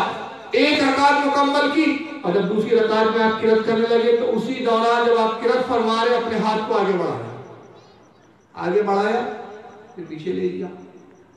फिर आपने दूसरी मरतबा आगे बढ़ाया, फिर पीछे ले लिया। फिर तीसरी मरतबा आगे बढ़ाया, फिर पीछे ले लिया। तीन मरतबा आगे बढ़ाया, पीछे ले लिया। नमाज़ जब खत्म हुई, सलाम फेरा आका ने साहब उसके अल्लाह के नबी, आपने नमाज़ में तीन बार हाथ ऐसे किया ऐसे किया ऐसे किया ऐसे किया। या रसूलुल्लाह के नमाज़ में ये बढ़ गया रुकन।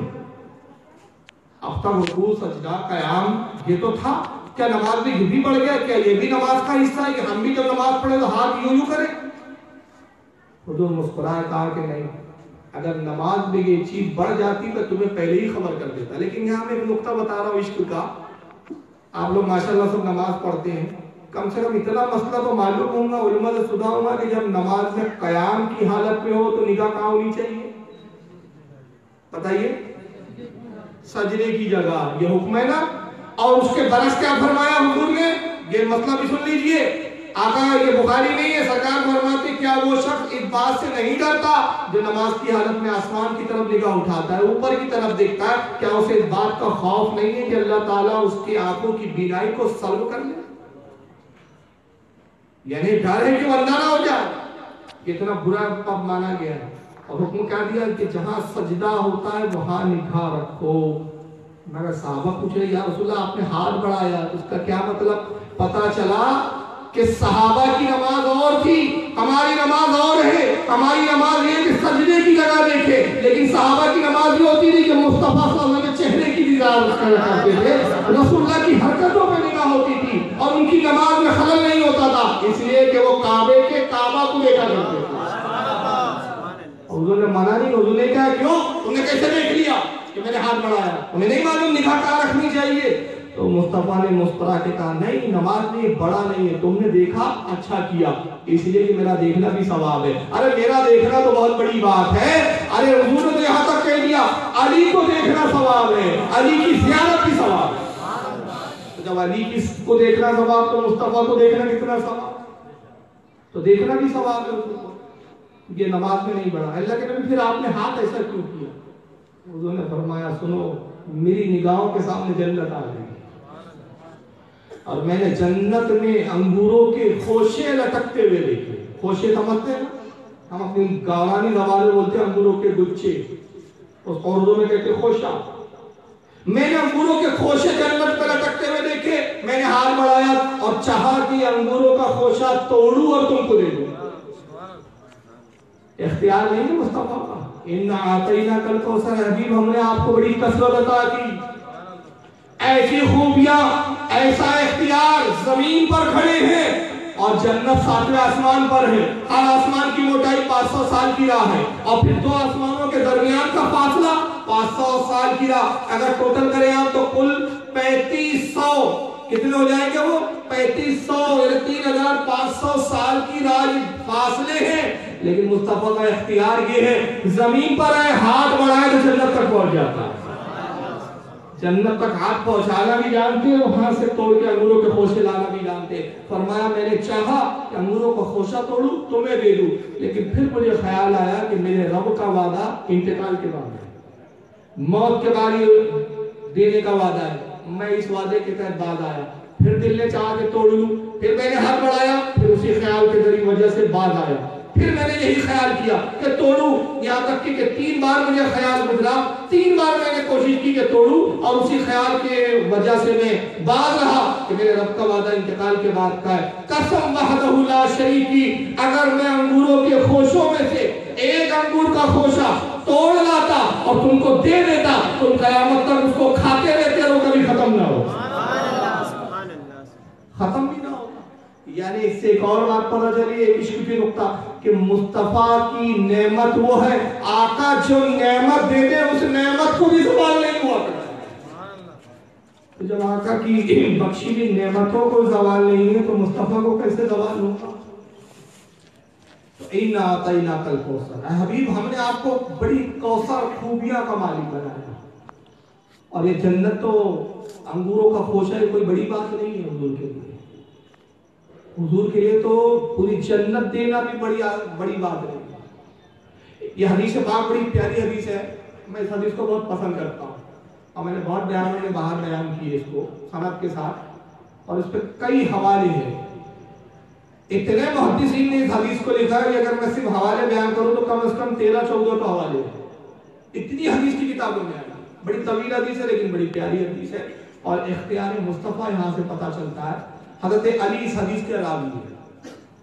इमाम तबरानी ने इसको लिखा है, इमाम इब्न हिब्बान ने लिखा है, इमाम हाकिम ने लिखा, इमाम अहमद इब्न हम्बल ने, अल मुस्नद में लिखा बड़े बड़े इमामों ने अपनी हदीस की किताबों में हदीस को लिखा। हज़रत अली हदीस के रावी फरमाते हैं कि हुजूर के पास एक बद्दू आया बद्दू किसे कहते हैं? देहाती साहब तो देहात के रहने वाले रहते हैं जो ज़्यादा पढ़े लिखे नहीं होते हैं, देहाती उनको बद्दू कहा जाता है। सीधे साधे होते हैं बेचारे देहात के।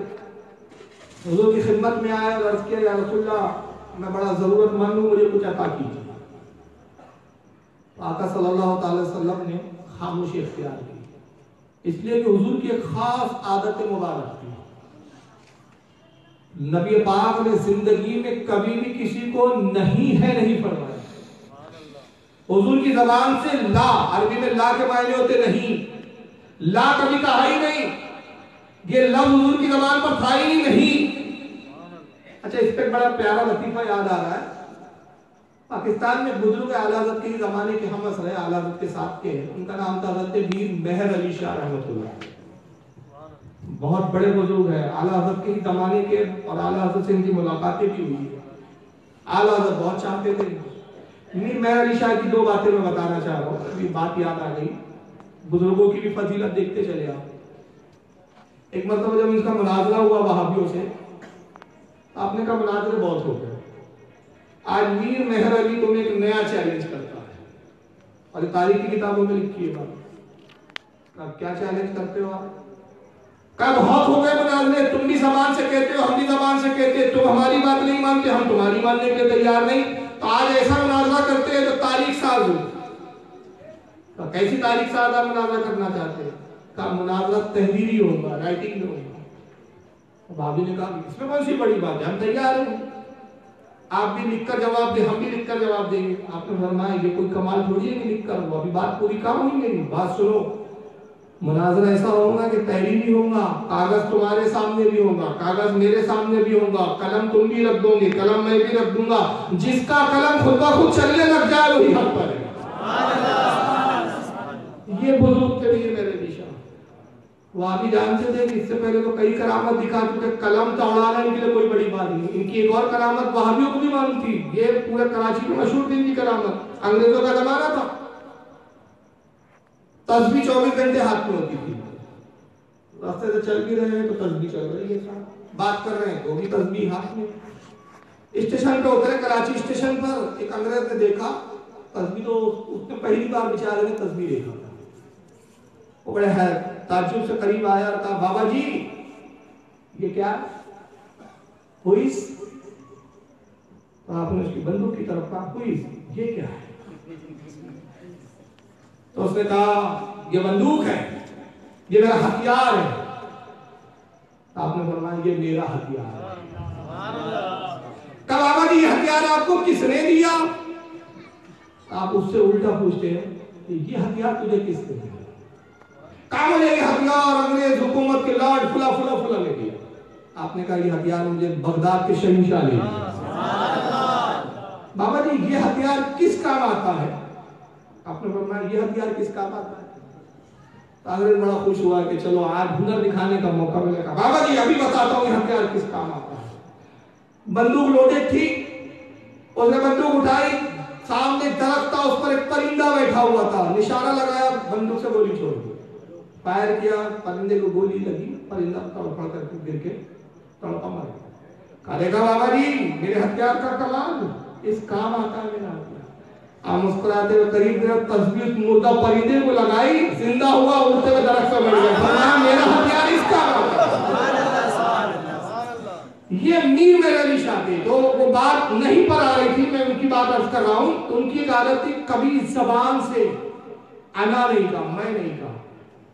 अरबी में अना बोलते और उर्दू में क्या बोलते हैं? मैं। बोलते ना, अरे यार बहुत मैं पना है। यानी मैं लफ्ज इस्तेमाल ही नहीं करते तो क्यों? लफ्ज मैं घमंड की निशानी। भाई, मैं गया, मैंने किया, मैं मैं मैं ये हूँ, मैं वो। जहाँ मैं आता, वहाँ घमंड आता। तो वो अना और मैं बोलते नहीं थे। तो उनका अंदाज कैसा था? जैसे उनको कुछ किया, अगर बता रहे तो कहते थे, फकीर ने ये काम किया। फकीर ने ये कहा, मैंने कहा नहीं कहेंगे, मैंने ये किया नहीं कहेंगे। एक दिन कुछ मौलवी लोग बैठे थे, कहा, यार, हज़रत पीर मेरे अली को हमने देखा, कभी लफ्ज मैं अपनी जबान से नहीं निकालते। इतनी एहतियात कि आज तक हमने इनकी जबान से लफ्ज मैं नहीं सुना। तो एक मौलाना उसमें से उठे, कहा, अरे, अगर मैंने लफ्ज मैं उनकी जबान से ना कहलवा दिया तो मेरा नाम भी खुला मैं भी अपने मौलवी हूँ। दोस्तों ने कहा यार, जाने दो, बुज़ुर्ग आदमी है अच्छे अच्छे आए बुज़ुर्गों की मर्ज़ी के खिलाफ कुछ करवा नहीं रहे कहा मैं करवाऊँगा? देखो अभी कैसे उनकी जबान से मैं मैं कह निकलवाता हूँ। मस्जिद में आया, जुम्मे का दिन था। तो गलबन मगरिब का दिन था जुमा नहीं था, मगरिब का था। तो ये आया और कहा कि जैसी अजान वगैरह हुई और ये नमाज़ पढ़ाने के लिए मुसल्ले पे आ रहा है मीर मेहर अली शाह को साहब खड़े कहा हुजूर, एक सवाल पूछना था। तो आपने फरमाया, पूछो। बोले, मुख्तसर सा सवाल है, आप जवाब दीजिए। कहा, देखो, नमाज़ का वक्त हो गया। कहा, हुजूर पर जवाब दीजिए, फिर आप नमाज़ पढ़ा। अच्छा पूछ लो। कहा, इबलीस को किस चीज़ ने तबाह किया? अब जवाब क्या? बोलिए आप बोलिए जवाब क्या? मैं। किसने मारा इबलीस को? मैंने। उसने कहा अना अना खैर मैं ही खैर पर हूँ। मैं, और आदम जो है, वो खैर वाले वो मिट्टी से पैदा हुए और मैं आग से पैदा हुआ। तो अब जवाब यही था किसने मारा इबलीस को? किस चीज़ ने इबलीस को डुबाया? तो जवाब यही कहने का मैं परे ने डुबाया मैंने डुबाया। हज़रत ने कहा नमाज़ के बाद जवाब वक्त हो रहा है। अल्लाह अकबर तमाशा नमाज़ खत्म के सलाम फेरा फिर आप मिंबर पे बैठे कहा कि किसने सवाल किया था वो इबलीस वाला? नमाज़ आप खड़े कहा मैं तब इसी ने मारा। यानी उन्होंने अपनी जबान से कभी मैं तो बहरहाल ये अना बात अना पे मैं मैं पर आया तो मीर मैं निशान की तरह बोलना पड़ गया मुझे उनकी शख्सियत बताने के लिए। तो रसूल की जबान से ये तो पीर मेहर अली शाह वली थे, मैं नहीं निकला लेकिन आका की जबान से नहीं, कभी नहीं निकला तो पता चला कि मुस्तफ़ा के बाद ऐसी कोई चीज़ आई नहीं जो ना की जा सके ऐसा कोई सवाल नहीं जो पूरा ना किया जा सके, इसलिए कभी आका ने मैं नहीं नहीं नहीं नहीं कहा और उसको आला हज़रत ने यूँ फरमा दिया कि नहीं सुनता ही नहीं मांगने वाला है और एक फरमाते, वाह, क्या चूरो करम रे शह बता तेरा, नहीं सुनता ही नहीं मांगने वाला तेरा और एक दूसरे मकाम पे फरमाते हैं, सरकार में ना ला है, ना हाजत अगर। मांगेंगे मांगे जाएँगे, मुँह मांगी पाएँगे। सरकार में न ला है। ला में नहीं को कहते। यानी सरकार की बारगाह में नहीं नहीं और हाजत अगर की है मतलब ये नहीं है के पास, अगर होगा तो दूँगा। ये अगर मगर हमारे लिए है। आपने मांगा, अरे यार, एक लाख रुपए की ज़रूरत है। अरे भाई, अगर आ जाएँगे, एक लाख तो मैं दे दूँगा। अगर आका के पास अगर वगर नहीं है, इधर सवाल हुआ इधर जवाब दे दिया गया। इधर मांगा गया, इधर अता कर दिया। तो ये बात, लेकिन हुजूर इस हदीस में एक खास बात आ रही है कि जब सरकार किसी को कुछ देना नहीं चाहते थे तो आप खामोश रहते थे। नहीं नहीं ईशान के खिलाफ था। वो बद्दू आया कहा, या रसूलल्लाह, मेरी हाजत पूरी कर दी। हुजूर खामोश मौला कायनात फरमाते हैं कि वो बद्दू साहबी थे, हुजूर की खामोशी का मतलब नहीं समझ सके फिर दूसरी बार उन्होंने कहा, या रसूलल्लाह, मेरी हाजत पूरी कर दीजिए आका। आका फिर खामोश। साहबा उस बद्दू साहबी को घूर के देखने लगे और इशारे करने लगे कि खामोश हो जाए हुजूर, खामोश है इसका मतलब? सरकार की मर्ज़ी नहीं है तुझे देने की, लेकिन हुजूर अपनी जबान से नहीं नहीं कहेंगे। तीसरी बार वो बद्दू थे, साहबा का इशारा भी नहीं समझे। तीसरी बार हुजूर का छुपा पकड़ा उन्होंने और खींचा। और खींच के कहा या रसूलल्लाह मुझे अता कीजिए कुछ। मैं जरूरतमंद हूँ मेरी ज़रूरत पूरी कीजिए। तीसरी बार खींचा तो आका का दरिया रहमत जोश में आया और फिर आका ने फरमाया माँ शीता या अरबी अरबी मांग क्या माँगता है? जो तू मांगेगा मैं तुझे दे दूँगा। और यहाँ देखिए माँ अरबी की थोड़ी सी बहस है जिसमें एक एक लफ्ज पर हम गुफ्तगू करें ना तो हुजूर की फजलत। माँ अमूम के लिए आता है। माँ शीता कोई ऐसी चीज़ नहीं, अगर मैं ये माँ का अगर अमूम की बुनियाद पर तर्जुमा करूँ तो तर्जुमा ये बनता है अय अरबी कोई ऐसी चीज़ नहीं जो तू मांगे और मैं दे ना सकूँ। मांग क्या माँगता है? माँ शीता या अरबी तो मौला कायनात कहते जैसी हुजूर ने जब जोश में ये कहा मांग क्या माँगता है? तू जो मांगेगा, मैं वो चीज़ तुझे दे दूँगा। तो साहब आपस में दूसरे के कानों में कहने लगे खुदा की कसम, इस शख्स की किस्मत पे रश्क आता है। इस शख्स की किस्मत पर हमें रश्क हो रहा है। अब ये हुजूर से ज़रूर कहेगा, या रसूलल्लाह, जन्नत दे दीजिए। हुजूर से जन्नत ही मांगेगा। मगर हज़रत अली फरमाते, अफसोस, वो बद्दू साहबी था। हुजूर के माँ शीता या अरबी लफ्ज को समझ ही नहीं सका कहा, या रसूलल्लाह, सफ़र पे जा रहा हूँ, एक रूप दे दीजिए और कुछ रकम दे दीजिए।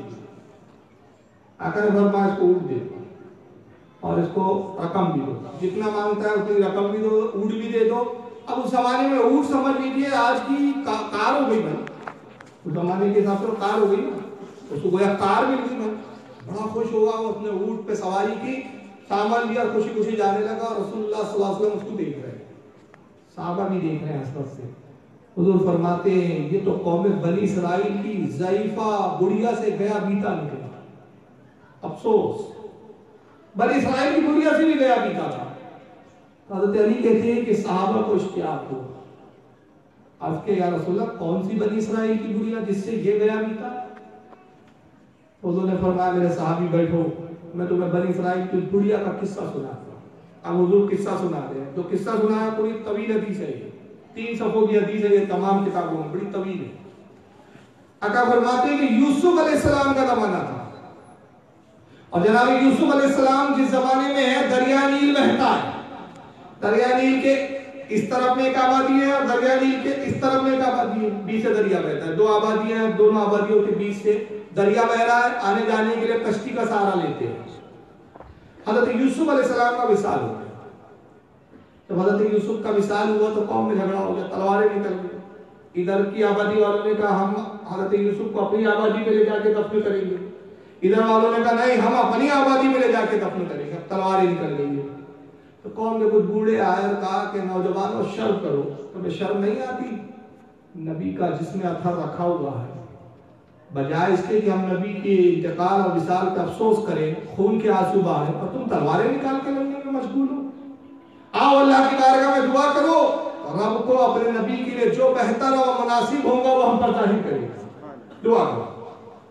लोगों ने मान लिया, नौजवानों ने बूढ़ों की बात ज़ईफों की बात, दुआ करनी शुरू की रब कायनात, जो तेरे नबी के हक में बेहतर है, ज़ाहिर कर अभी दुआ से फारिग हुए थे कि दरिया नील फटा बीच से रास्ता हो गया। पानी इधर रुका हुआ है, इधर का पानी, इधर रुका हुआ बीच में पूरा खुशकी कौम के लोग समझ गए कि रब की मशीयत, रब का इरादा क्या है, मकसूद क्या है रब जनाब यूसुफ के जिसमें अतर को लाया, बीच दरिया में कब्र को अब यहाँ से उसके मरासी में एक रस्म होती है ना हमारे, उसका भी इसी हदीस से जवाब मिल जाएगा बाखुदा अहले सुन्नत का हर तरीका, जो उलमा और बुज़ुर्गों से साबित है, उसकी दलील हमारे पास हदीस और कुरान से ज़रूर मौजूद है। अब जिनको नहीं मालूम, वो इतराज करने लगते हैं ये उनकी इल्म की कमी है। अहले सुन्नत में कमी नहीं है। इतराज उनके इल्म की कमी की बुनियाद है। बीच दरिया में कदम जगह जगह खुशकी थी कब्र खोदी? हज़रत यूसुफ को दफन किया। और दफन करके जैसी हटे, दरिया का पानी जारी हो गया। अब ये दरिया का पानी किस पे से जा रहा है? जनाब यूसुफ सलाम की मजार को छू के जा रहा है। आका क्या फरमाते बस ये एक नुक्ता है। सरकार सरकार कहते लोगों जानते हो, जो पानी यूसुफ की कब्र को छू कर गुजरता था वो पानी जब उस कौम का कोई बीमार पी लेता अल्लाह ताला उसको शिफा का फरमा अब इससे मसला क्या हुआ? पता चला कि औलिया अंबिया नेकों की कब्रों से जो चीज़ें मस हो जाती है तबर्रुक बन जाती है। इसीलिए उर्स के मरासिम में गुस्ले कब्र हमने वहीं से लिया है। कि गुस्ले कब्र तो हम करते हैं रब ने यूसुफ की कब्र को गुस्ल दिया। गुस्ली तो हो रहा है। कितने साल रब ने यूसुफ की कब्र पानी में रही? अब बताइए, पानी में रही तीन मतलब उसके अंदर क्या पानी नहीं गया होगा कब्र के अंदर? आज आप कितना ही अच्छा बाँध बना लीजिए, कितना ही अच्छा पुल बना लीजिए, ज़्यादा से ज़्यादा सौ साल उसकी लाइफ डेढ़ सौ साल, बस। पानी गला देता है, सड़ा देता है, पुल टूट जाते हैं, बाँध टूट जाते हैं। मगर आका फरमाते तीन सौ साल तक यूसुफ का जिसको पानी दे रहा खराब नहीं यूसुफ सलाम का जिसम सड़ा नहीं, जब पानी के अंदर दरिया नील में 300 साल, हज़रत यूसुफ जो नबी के गुलाम है, उनका जिस्म सलामत है तो क्या आका का जिस्म सलामत नहीं होगा? तो बाकी अकीदा ठहरा ना कि जिन्होंने कह दिया कि मोहम्मद मरकर मिट्टी में मिल गया मासूम तो कितना घटिया अकीदा उन्होंने अपने दिलों में रखा है। 300 साल के बाद हज़रत मूसा आता है सरकार कहती है जब मूसा अलैहिस्सलाम का दौर आया, कौम बनी इसराइल को लेकर आप निकले। फिरौन से नजात दिलाई और उसी दरिया के करीब पहुँचे। कुरान में वाकया के तफसील से मौजूद है। से आपने बारह सुने हैं कौम बनी इसराइल के वाकया जब उस दरिया के करीब पहुँचे तो हज़रत मूसा रुक गया। दरिया नील है, आगे जाने का रास्ता नहीं। आज के रब कदीर, अब रास्ता नहीं। पीछे फिरौन की फौज है। फिरौन साथ में, अल्लाह ने फरमाया, मूसा असा मारो जनाब मूसा ने जैसे दरिया पे ऐसा मारा दरिया फटा रास्ता नमूदार हो हज़रत मूसा उस रास्ते से चल पड़े। और जब उस जगह पहुँचे जहाँ यूसुफ सलाम की कब्र थी रास्ता फिर वहीं से फटा। तीन सौ साल पहले जहाँ फटा था इस बार भी वहीं से फटा है। और उस मकाम पे पहुँचे जहाँ यूसुफ सलाम की मजार है। अल्लाह ने वही बेटी कहा कि मूसा रुको ठहर जाओ। हमारे नबी यूसुफ की कब्र को खोदो और हज़रत यूसुफ के जिस्म को अपने साथ ले लो परवरदिगार, क्या तेरे नबी के यूसुफ का जिस्म यही? हाँ मूसा यही है। अब ये खबर कौन दे रहा है? जिब्रील आके बता रहे हैं। वही जिब्रील के ज़रिए आ रही है। तो कितनी चीज़ें बता दी गई? ये बताया गया कि यहाँ कब्र है। ये भी बताया गया कि यूसुफ की कब्र है। ये भी बताया गया कि आप इसको लेकर निकले। हज़रत मूसा ने अर्ज़ किया, मालिक कायनात, फिरौन पीछे हैं। और मैं यूसुफ की कब्र खोदूं। यूसुफ के जिस्म को निकालूं। तब तक तो फिरौन आ जाएगा, मेरी कौम को हलाक कर देगा। अल्लाह ने फरमाया, यूसुफ, घबराओ मत, डरो मत, जब तक वो ना आएगा, तब तक तुम ये काम से फारिग हो जाओगे। निकालो यूसुफ के जिस्म को। अब जुमला सुने हदीस का। कहा कि इसलिए निकालो, अपने साथ इसलिए ले जाओ कि यहाँ फिरौन आने वाला है। फिरौन गर्क होगा इसी में अजाब होगा। इसी दरिया में अपनी कौम के साथ डूबकर हलाक हो जाएगा।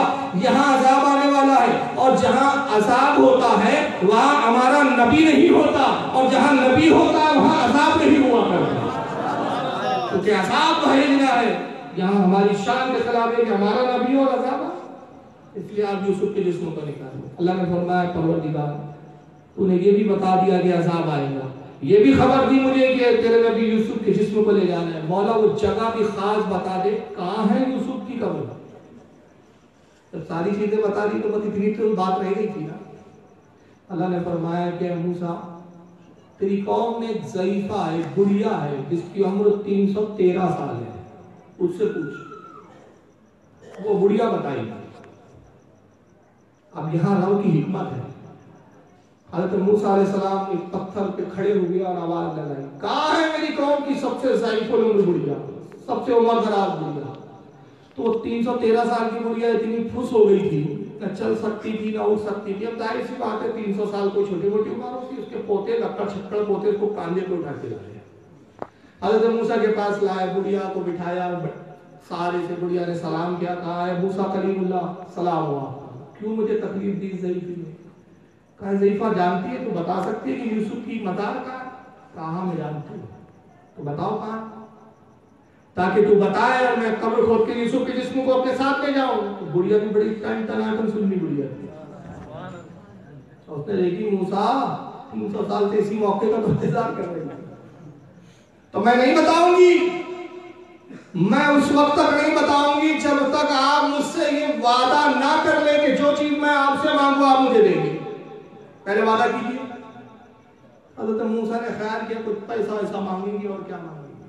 अच्छा चल वादा करता हूँ, जो तू मांगेगी मैं दे दूँगा। बोल, क्या चाहिए? कहती है, मूसा, मैं ये चाहती हूँ कि जन्नत के जिस महल में आप रहे, उसी महल में मैं आपके साथ रहूँगा। तो जन्नत दी हज़रत मूसा ने कहा, नहीं, जन्नत के उस महल में रहने की बात मत कर। जन्नत ले सलीम जन्नत जन्नत ले ले, जन्नत मांग ले मैं जन्नत देने के लिए तैयार हूँ, लेकिन वो महल मत मांग जिसमें मैं रहूँगा, इसलिए कि मेरे महल में मेरी बीवी सपूरा रहेगी तू बीच में घुस रही है वहाँ? तुझे वो महल नहीं दिया जा सकता, तू जन्नत ले ले। बुढ़िया कहती है कि नहीं, रब कायनात की कसम, परवरदिगार की कसम, मैं उस वक्त तक राज़ी ना होंगी, जब तक आप मुझे अपने साथ महल में रखने के लिए तैयार ना हो जाए। तो वही तो ये आना चाहिए था ना। बुढ़िया, तू तो बहुत पक्की मुशरिक है। तुझे नहीं मालूम, अल्लाह साहब से मांगना चाहिए डायरेक्ट अरे मूसा, तुम नबी हो के उससे कह रहे जन्नत ले ले, जन्नत तुम देने वाले कौन? जन्नत तो हम देने वाले देने का इख्तियार रखते हैं। मूसा, तुझे नहीं पता कि मेरे नबी की उम्मत में एक नाबिकार पैदा होगा इस्माइल जहलवी नाम होगा किताब लिखेगा तकवतुल ईमान, और उसमें लिख के मर जाएगा कि जिसका नाम मोहम्मद या अली है, वो किसी चीज़ का इख्तियार नहीं रखता। तो जब मेरा नबी, जो सबसे महबूब है, वो इख्तियार नहीं रखता तो मूसा, तू कहाँ से इख्तियार रखता है? कि तू इसको जन्नत देने लगा। ये वही आना चाहिए था, वही ये नहीं आ रही है। आका फरमाते फारतुहा मूसा मूसा उसकी बात को ठुकराते रहे, रद्द करते रहे, और बार बार कहते रहे, जन्नत ले ले, मगर मेरे साथ रहने की बात मत कर। अब बुढ़िया भी है, कहती है, साथ में रहूँगी, यही देना है तो दीजिए वरना नहीं बताती, जाओ। अगर जानना है तो अल्लाह ने वही भेजी जिब्रील आए और कहा, मूसा, अल्लाह फरमाता है। क्या वही आई? अल्लाह फरमाता है मूसा, वो जो मांग रही है, आप उसको अता कर दीजिए, इसमें आपका क्या जाता है? दे दीजिए आप। आपको हमने जो नेमतें दी उसमें क्या कुछ कमी हो जाएगी? आका ने फरमाया फाती हाँ जा, तुझे दे दिया। हज़रत मूसा ने कहा, जा, मैंने तुझे दे दिया। चल, अब बता, कहती है, मूसा, ऐसा नहीं, इमाम तबरानी ने इसमें इजाफा किया ये मुस्तद अहमद वगैरह में तो इतनी रिवायत है। लेकिन इमाम तबरानी ने माजूमुल औसत जो हदीस की किताब, उसमें एक लफ्ज का इजाफा कर दिया उन्होंने। और उसमें जो रावी हज़रत अबू मूसा शरी है, बाकी रावी में हज़रत अली है। अबू मूसा शरी फरमाते उसमें एक मजीद इजाफे के साथ उसने कहा मूसा, इतनी जल्दबाजी मत कीजिए, ये तो आखिरत की बात है, दुनिया में भी तो कुछ चाहिए। अच्छा दुनिया में क्या चाहिए? कहा, ये बुढ़ापे से बड़ी तंग आ गई हो, जवानी लौटाओ। ना खा सकती हो, ना चल फिर सकती हो। हज़रत मूसा ने कहा अच्छा चल, ठीक है, वो भी मकार कर देते हैं। खड़ी करो इसको पोतों ने खड़ा किया, जनाब मूसा ने उसके सर से लेकर पैर तक जैसी मोहब्बत से निगाह डाली। जवानी शबाब लौट आया आका कहते हैं अठारह साल की दोषी ना लग रहा अठारह साल की जब कवारी लड़की होती है वैसी नज़र आ रही है। फिर उसने बताया, ये है वो जगह जहाँ मूसा, यूसुफ की कब्र है। अभी यहाँ रुक जाए आप इसको कैसे मालूम था यार यूसुफ की कब्र? तो मालूम ऐसे था कि वक्त रिवायत में आता है, बताती है कि जब मैं यूसुफ अलैहिस्सलाम का विशाल हुआ, मेरी उम्र तेरह साल की और मूसा जब तक मेरे पैर ताकतवर थे, मैं चल फिर सकती थी, यूसुफ की कब्र को आके देखा करती थी। ये उसको इनाम मिला। हज़रत मूसा ने कब्र खोली, जनाब यूसुफ का जिस्म तीन सौ साल के बाद सवार था। अपने साथ ले। मिस्र में दफन किया। आका ने ये बुढ़िया का किस्सा सुनाया साहबा को। और उसके बाद फिर आप जोश में आए फरमा लोगों, क्या वो बद्दू शख्स बनी इसराइल की बुढ़िया से गया बीता नहीं निकला कि जब उसके नबी ने कब्र का निशान पूछा तो उसने नबी से जन्नत मांगी। जन्नत में रहने के लिए जन वही महल मांगा, जिस पर खुद नबी मौजूद है। और मैं इससे खुद कहा रहा था, माशी का या अरबी ऐ अरबी मांग क्या माँगता है तो इसने ऊँट मांगा कसम महदौला शरीकी अगर ये कहता ऐ मुस्तफ़ा मैं महल में आपके साथ रहना चाहता हूँ तो मैं वो मकाम इसको अता करूँगा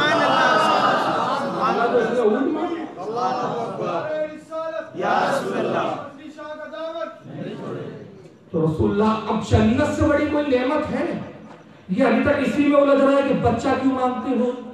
दौलत क्यों मांगते हो? अबे हमने कहा, बच्चे, बेटे, औलाद, ये सब पानी है फना हो जाएँगी, खत्म। रिश्ते वहाँ खत्म है, यही है सब रिश्ते, यही बेटा, यही बेटी है, यही बीवी है। वहाँ कोई किसी को पहचानने वाला नहीं, सारे रिश्ते से दुनिया में। तो जब दुनिया में बेटा, बेटी है सवाल वाली चीज़ फना वाली चीज़, ये मांगने पे तू एतराज़ कर रहा है? और मुस्तफ़ा तो बता रहे मुझे रब ने वो अता किया मैं जन्नतें बांट रहा हूँ। जन्नतें दे रहा हूँ, उससे बड़ी कोई नेमत हो सकती है? आगे हम वली पर भी आएँगे इंशाल्लाह। एक और रिवायत में बताना चाह रहा हूँ कि जन्नत रसूलुल्लाह के घर की मीरास है। सरकार के घर की लौंडी है खिदमतगार है जन्नत रसूल। पूरी कायनात तो नबी के सबके में है ना। हज़रत अबू कतादा रज़ी अल्लाह तआला में साहबी है। हज़रत कतादा, अबू नहीं, कतादा रज़ी बड़े जलील कदर साहबी इमाम जलालुद्दीन सयूती ने इस रिवायत को लिखा अल खसाइस कुबरा के अंदर। और इसको इमाम कस्तलानी ने अल-मुहिबुल में लाया। बहुत सारे इमामों ने इसको लिखा है। इमाम काजी अयाज ने किताब शिफा में लिखा मुतअद्दिद उलमा ने लिखा। हज़रत कतादा गजवा ओहद में शरीक है। दुश्मन से लड़ गया। एक तीर आता है सब समाता होगा और आग से लग के गुजरा और ये आग का जो गोला है, तीर के लगने से बाहर निकल गया। और एक नस से लटक रहा तीर छू कर गुजर गई आग से। और वो नतीजा ये होगा कि आग का गोला बाहर आ गया। और वो नस से लटक रहा हज़रत कतादा ने देखा कि ये लटकने की वजह से लड़ने में मुझे तकलीफ़ हो रही है। अपने हाथ से वो आग के गोले को पकड़ा और खींच के तोड़ दिया। आग से खून बह रहा है। तो उस आग को तोड़कर फेंका नहीं वो गोले को, बल्कि मट्टी में बांधे हुए। और तलवार चलाते रहे चलाते रहे, लड़ते, काटते, दुश्मन को रसुल्ला की बारगाह में पहुँचे। और हजूर की खिदमत पे जाके कहते, या रसूल अल्लाह मेरी आँख दुरुस्त फरमा। तो हजूर को अगर इख्तियार ना होता तो आका क्या कहते कतादा मैं कोई सर्जन थोड़ी हूँ। मैं कोई डॉक्टर हूँ। मांगना है तो अल्लाह साहब से मांगो। अब देखो, अब अल्लाह साहब भी कुछ नहीं कर सकते। ये तो आग खत्म हो गई, निकल गई। ये नहीं कहा, लेकिन आका देखो, इख्तियार बता रहे इमाम जलालुद्दीन सयूती के कुबरा में हदीस के अल्फाज आका ने कहा, कतादा सुन। तेरी आँख निकल गई है। अगर तू एक आँख से नाबीना होने पर सब्र कर ले तो उसके एवज में तुझे जन्नत दे जन्नत ले ले और एक आँख पर नाबीना होने पर सब्र कर ले। कतादा सहाबी थे ना वहाँ भी थोड़ी थे। सहाबी थे, और सहाबी बहुत अकलमंद होते। तो उन्होंने क्या कहा, या रसूल अल्लाह आपकी मोहब्बत, आपकी उल्फत, आपकी सोहबत और इसकी बरकतों से जन्नत तो मिल जाएगी। आग आप दुरुस्त कर दीजिए। जन्नत तो ही मिलेगी आप जन्नत देने की बात क्यों कर रहे हैं? आज सरकार मुस्कुराए और वो आग का गोला उनके आँख में लगा दिया, जो बाहर निकला था। और फिर अपना लुआब निकाला, ये भी बड़ी मज़ेदार बात है कि रसूल को अपनी तरह कह रहा है, अबे तेरे आँख का ऑपरेशन हो तो डॉक्टर हरी पट्टी लगा देता है। बोलता है हवा भी नहीं जाना चाहिए इन्फेक्शन हो जाएगा और अगर किसी के ऑपरेशन हो जाके आप थूक डाले तो बोले, बहुत बड़े बाबा जी का थूक है। तो डॉक्टर नहीं मानेगा जूते मार के निकालेगा बोलेगा अभी अभी ऑपरेशन हुआ है तो आँख को खराब कर रहा है क्या? जो बची कुची है, वो भी नहीं रहेगी। लेकिन मुस्तफ़ा सल्लल्लाहु अलैहि वसल्लम ने अपना लुआब लुआब थूक को कहते हैं आका ने थूक लगाया, लुआब लगाया और बताया, अरे, तुम मेरी क्या बराबरी करोगे? मेरे थूक की भी बराबरी तुम नहीं कर सकते मुस्तफ़ा की क्या बराबरी की जाएगी? लुआब लगाया, इमामा खोला कतादा का और आग पे लपेट। कतादा क्या वक्त हुआ है? या रसूल असर का वक्त है ये जोहर का वक्त है असर की नमाज़ में जब आना तो अपनी आग दिखा देना। हज़रत कतादा का इतना फास्ट ऑपरेशन देखा है आपने? कि जोहर के बाद आग लगाई गई और फरमाने असर से पहले आ जाना असर के वक्त आ जाना। हज़रत कतादा आए हुजूर ने अपने दस्ते मुबारक से इमामा खोला का कतारा बताओ क्या हाल है? कहते कसम वाहदुल्लाह शरीफ की, या रसूल अल्लाह हैरत सदा हूँ। अब वो आग सादा देख रही है जिसको आपने दुरुस्त किया, या वो आग सादा दूर तक देख रही है जो पहले से दुरुस्त थी, बल्कि जिसको आपने अपने लवाब से दुरुस्त करवा दिया वो आग दूर तक मुझे दिखाई दे रही है, दूर तक नज़र जा रही है, वो ज़्यादा देख रही है। तो हुजूर मुस्कुराया का कतादा तुमने क्या कहा था? जरा अपना वो जुमला तो दोहराओ। कहा या रसूल मैंने यही तो कहा था कि आपकी मोहब्बत, आपकी ऊपर से जन्नत मिल ही जाएगी आप आग दुरुस्त कीजिए तो ने कहा, कतारा, तेरे जुमले अल्लाह रसूल को बड़े पसंद आए। बड़े चालाक निकले। जाओ, तेरी आग भी दुरुस्त की गई और तुझे जन्नत भी मिल। जन्नत। तो ये तो आका का अंदाज है, जन्नत जिसको चाहे अता कर दे। और नबी के सबके में अल्लाह ने वलियों को भी वो इख्तियार इसके लिए मैं पहले हदीस सुना देता हूँ। और हदीस के बाद फिर मैं कुछ उसके सुनने वाकत बयान करूँगा कि वली भी जिसको चाहे हम बुज़ुर्गों से सोहबत भी अख्तियार करते क्या वजह मोहब्बत? मोहब्बत की वजह क्या है? हमारी सबसे बड़ी वजह यह है कि हम जिस बुज़ुर्ग से मोहब्बत करते हैं कि ये बुजुर्गान दीन की मोहब्बत अगर कामयाब हो गई तो कयामत के दिन हमारी शफात कर देगी। इससे बड़ी और कोई बात नहीं ये इमाम इब्न माजा ने हदीस लिखी है। पढ़ा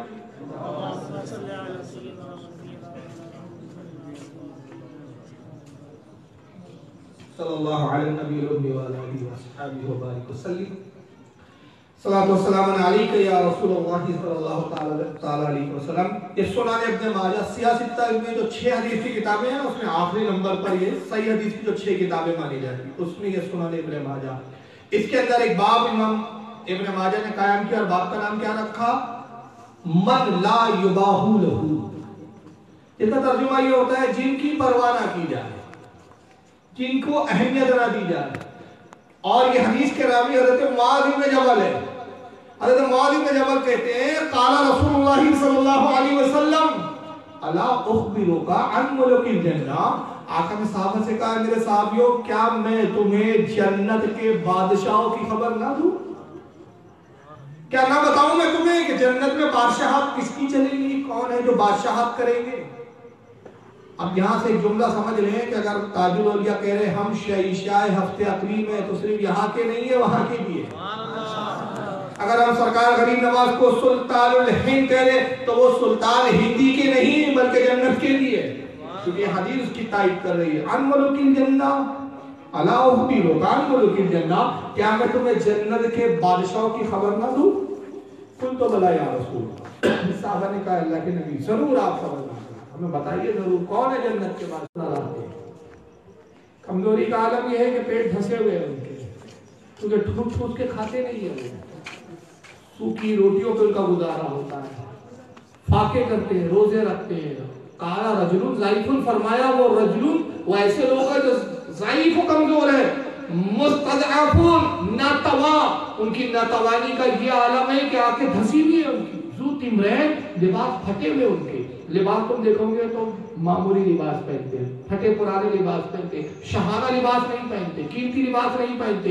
मामूली लिबास से के ला और उनकी लोग परवाह नहीं करते। अगर वो दरवाजों पे चले जाए, दीवाना पागल समझ के लोग धुतकार दिया करते भगा दिया करते मगर मकाम क्या है उनका?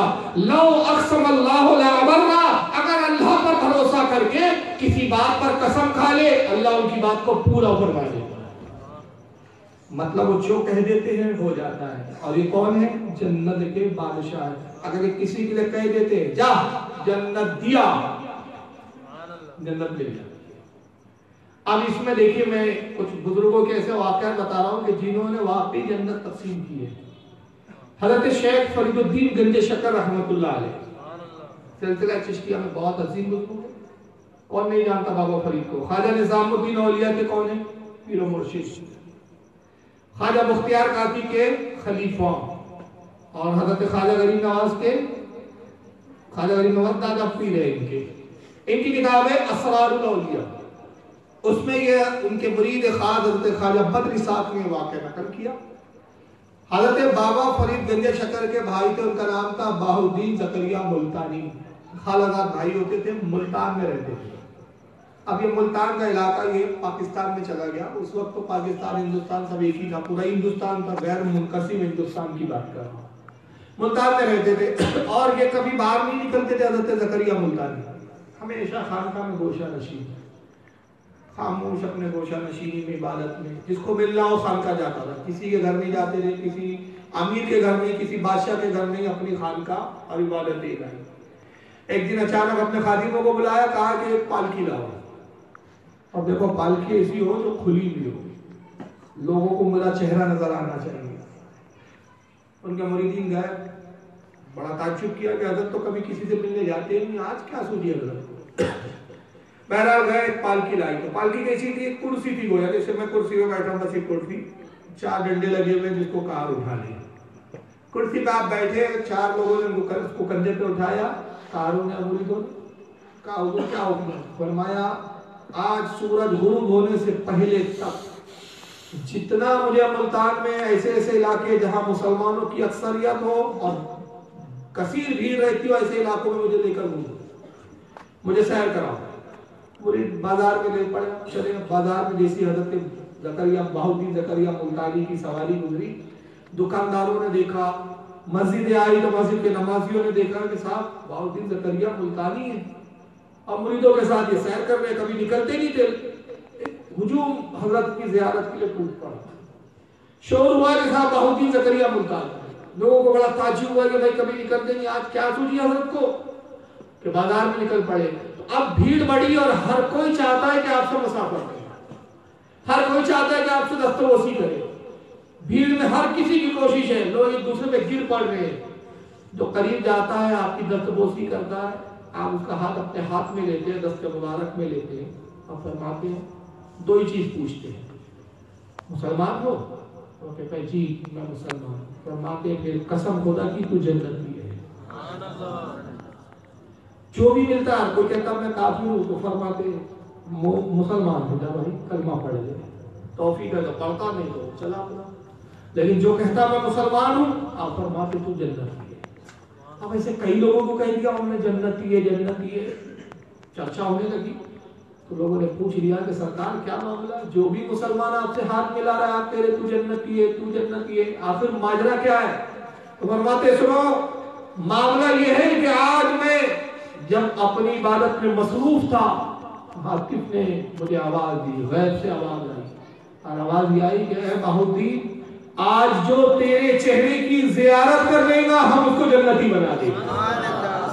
हम तुझसे इतने राज़ी हुए जो तेरे चेहरे को देख लेगा, वो आज वो जन्नती हो जाएगा।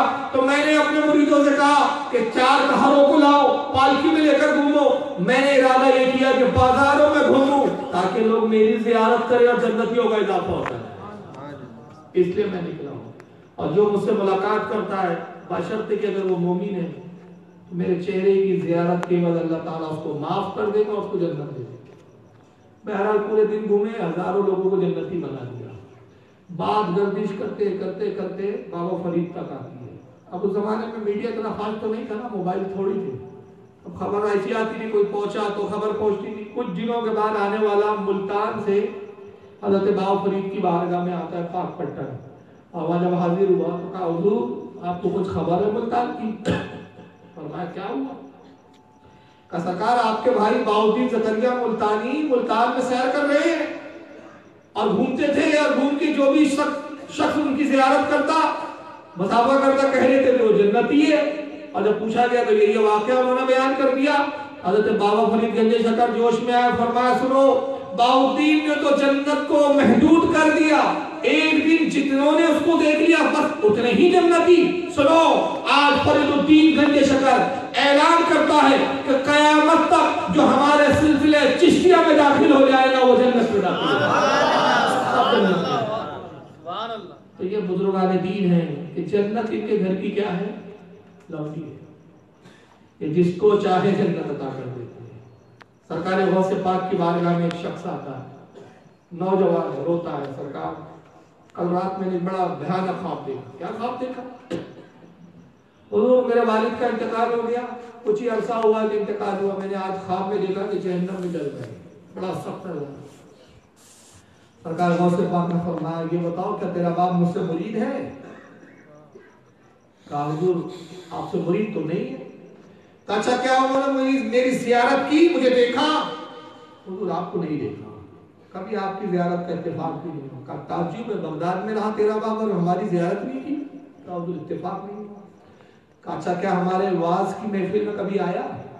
हुजूर, आपकी महफिल में भी कभी शिरकत गौ से पाक चला लेने आया। ये बता, कम अज कम तेरा बाप कभी मेरे मदरसे में आया? हुजूर, आपके मदरसे में भी नहीं आया। और फिर आप मधी जलाल में फरमाते अरे कम से कम ये तो बता क्या मेरे मदरसे के करीब से कभी गुजरा? तो कहा हाँ हुजूर एक मर्तबा मैं जब बाज़ार अपने वालिद को किसी काम से ले जा रहा था रास्ते में आपका मदरसा पड़ा बस वही करीब से हम गुजर गए। सरदार गौसे पाक ने आँखें बंद की। कुछ देर के बाद मुस्कुरा फरमाया जा तेरे बाप को बख्श दिया। हुजूर कैसे? कहा सुन मैंने रब की बारगाह में सिफारिश की अर्ज़ के रब कायनात इसका बाप मेरे मदरसे के करीब से गुजरा। ऐ परवरदिगार आलम अगर तेरी बारगाह में मेरा मदरसा मकबूल है तो उसकी मकबूलियत का वास्ता वसीला के मेरे मदरसे के करीब से गुजरने पर इसको जन्नत अता अल्लाह। ताला ने मेरी सिफारिश को कबूल कर लिया और उसको जन्नत अता कर दी। तो बुजुर्गान दीन का आलम यह है कि जिसको चाहते हैं जन्नत अता करते हैं। ये गुजरने पे एक बात याद आ रही है ये वाज की महफिलें भी जन्नत में जाने का सबब होती है। बुखारी शरीफ में तो एक बड़ी मशहूर हदीस है कि कुछ रहमत के फरिश्ते होते हैं जो परों से महफिल को ढांप लेते हैं। कई बार आपने सुना होगा। महफिल खत्म होती है, फरिश्ते आसमान की तरफ़ जाते हैं। परवरदिगार फरमाता है, कहाँ से आ रहे हो? अब क्या अल्लाह को गैब नहीं है? अभी कहते ना कि हुजूर को गायब नहीं है हुजूर ने पूछा, अगर गैब होता तो ये क्यों पूछते वो क्यों पूछते तो कहोगे यहाँ भी हदीस बुखारी की है, मान लो कि अल्लाह को भी गैब नहीं है तो पूछना लाइल्मी की दलील नहीं होता। तो हुजूर ने अल्लाह फरमाता है कि फरिश्तों कहाँ से आ रहे हो? मौला खुला मजलिस से आ रहे क्या हो रहा था? परवरदिगार तेरा ज़िक्र कर रहे थे, तेरे बंदे, तेरे नबी का ज़िक्र कर रहे थे, तेरी जन्नत और दोजख का तस्करा कर रहे थे। अल्लाह फरमाता है, क्या उन्होंने मुझे देखा? मेरी जन्नत देखी, मेरी दोजख देखी, मौला नहीं देखा। अगर देख लेते तो क्या होता? परवरदिगार, अगर तेरी जन्नत देखते, उसे तलब करने में सबकत करते, पेशकदमी करते, तेरी जहन्नम को देखते उससे तेरी पनाह चाहते। और ऐ खाली के कायनात, अगर तेरा दीदार कर लेते, दुनिया और माफिया सब कुछ भूल जाते।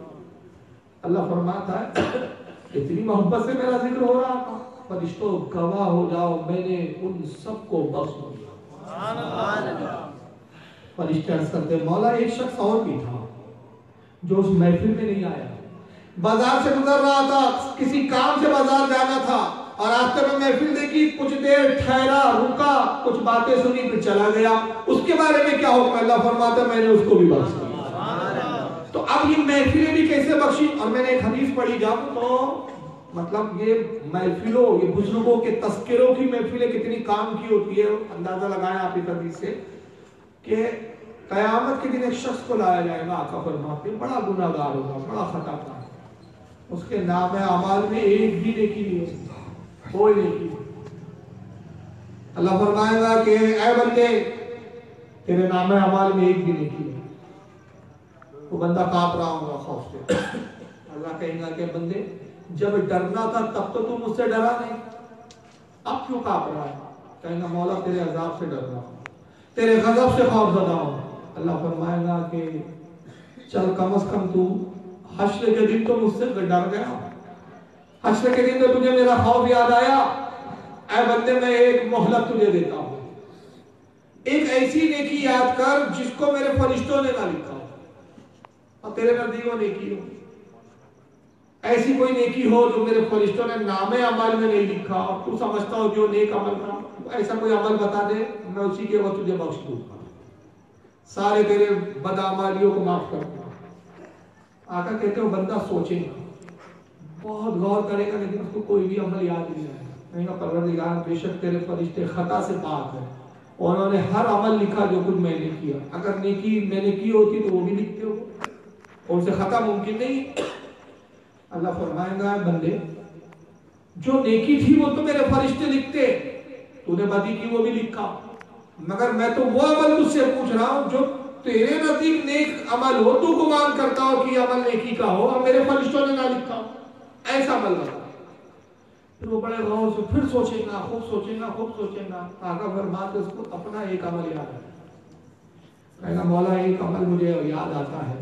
अगर तेरे नज़दीक नेकी में शुमार होता हो तो इसको कबूल कर और अब फरमाएगा बताओ क्या अमल है तेरा बताओ मौला, मेरी बस्ती में वास की महफिल सजी हुई थी। तेरा, तेरे हबीब का ज़िक्र हो रहा था, तेरे महबूबों का तस्करा हो रहा था। मैं शराब की, नशे की हालत में उस महफिल के करीब से गुजरा। महफिल में बैठा नहीं, रुका नहीं, ठहरा नहीं। उस मस्जिद के करीब से मैं गुजर गया। ज़ाहिर सी बात है, मैं शराब के नशे में था। महफिल के करीब से गुजर गया, बैठा नहीं। तेरे फरिश्तों ने इसको मेरे अमाल में, नेक अमल में शुमार नहीं। अगर तेरे नज़दीक उस महफिल के करीब से गुजरना नेकी है तो उसके बाद बख्श अल्लाह फरमाएगा बंदे जा तुझे बख्श दिया फरिश्तों उसको जहन्नम दिखाओ। मौला, जहन्नम क्यों? क्या तूने मुझे नहीं बख्शा? ऐ बंदे, तुझे बख्श दिया गया, जहन्नम इसलिए दिखाई जा रही है ताकि तुझे एहसास हो, तेरा ठिकाना क्या था? क्या मैंने अपनी करीमी के सदके में तुझे माफ़ नहीं किया? क्या मैंने अपनी गफूरी के सदके में तेरे गुनाहों को माफ़, खत्म ना फरमा दिया? तबाह बर्बाद ना कर दी तेरे गुनाहों को। मैं दिखाना चाहता हूँ तेरा ठिकाना क्या था? मैंने अपने हबीब के सदके में तुझे क्या दिया? जा तुझे इसका एहसास हो। जहन्नम दिखाओ इसको। अब फरिश्ते को जहन्नम की तरफ़ ले जाएँगे। तो जहन्नम में जाने वालों की कतारें। और उसी कतार में वो मौलाना साहब भी है, जिनकी महफिल से गुजरा था। जहन्नम में जाने वालों में मौलाना भी लगे हुए ये बड़ा हैरान होगा पहचान लेगा कहेंगे यही तो मौलाना थे वो जो बस्ती में आके तकरीर कर रहे थे अपनी। और ये जहन्नम में? मैं इनकी वाज की महफिल में, इनके करीब से महफिल से गुजरा तो मैं तो बख्श दिया गया हूँ। अफसोस की बात है कि ये मौलाना कैसे जहन्नम में जा रहे तो दौड़ते करीब जाएगा, मौलाना को सलाम करेंगे कहेंगे सलाम मौलाना वालेकुम सलाम। हज़रत आप कैसे जहन्नम में भी रहेंगे। कहेंगे, भाई, क्या बताऊँ मैं तुम्हें? मैंने बहुत इल्म हासिल किया। खूब पढ़ा खूब पढ़ा, खूब सीखा, खूब जानकारी दी। खूब दीन के बारे में मैंने मालूम हासिल की, लेकिन अपनी मालूम पर मैंने अमल नहीं किया। और जब अमल नहीं किया तो रब का एताब मुझ पर नाजिल हो और रब ने गजब फरमाया कि तूने मेरे दीन को जाना और उस पर अमल नहीं किया, फरिश्तों जहन्नम में डाल मेरी बदअमली, मेरी कोताही, मेरी काहिली मुझे अब जहन्नम ले जा रही। वो बंदा मचल जाएगा। आका फरमाते हैं, सजदे में गिरेगा, रोते हुए अर्ज़ करेगा रब कायनात, जिसके वास की महफिल के करीब से मैं गुजरने पे बख्श दिया गया, वही आली नदी वही तेरे रसूल का, उम्मत का मुबल्लिग वो जहन्नम में जाए। आलम, मुझे ये कब गवारा है। मालिक कायनात, इसे भी बख्श दे, इसको भी माफ़ फरमा दे।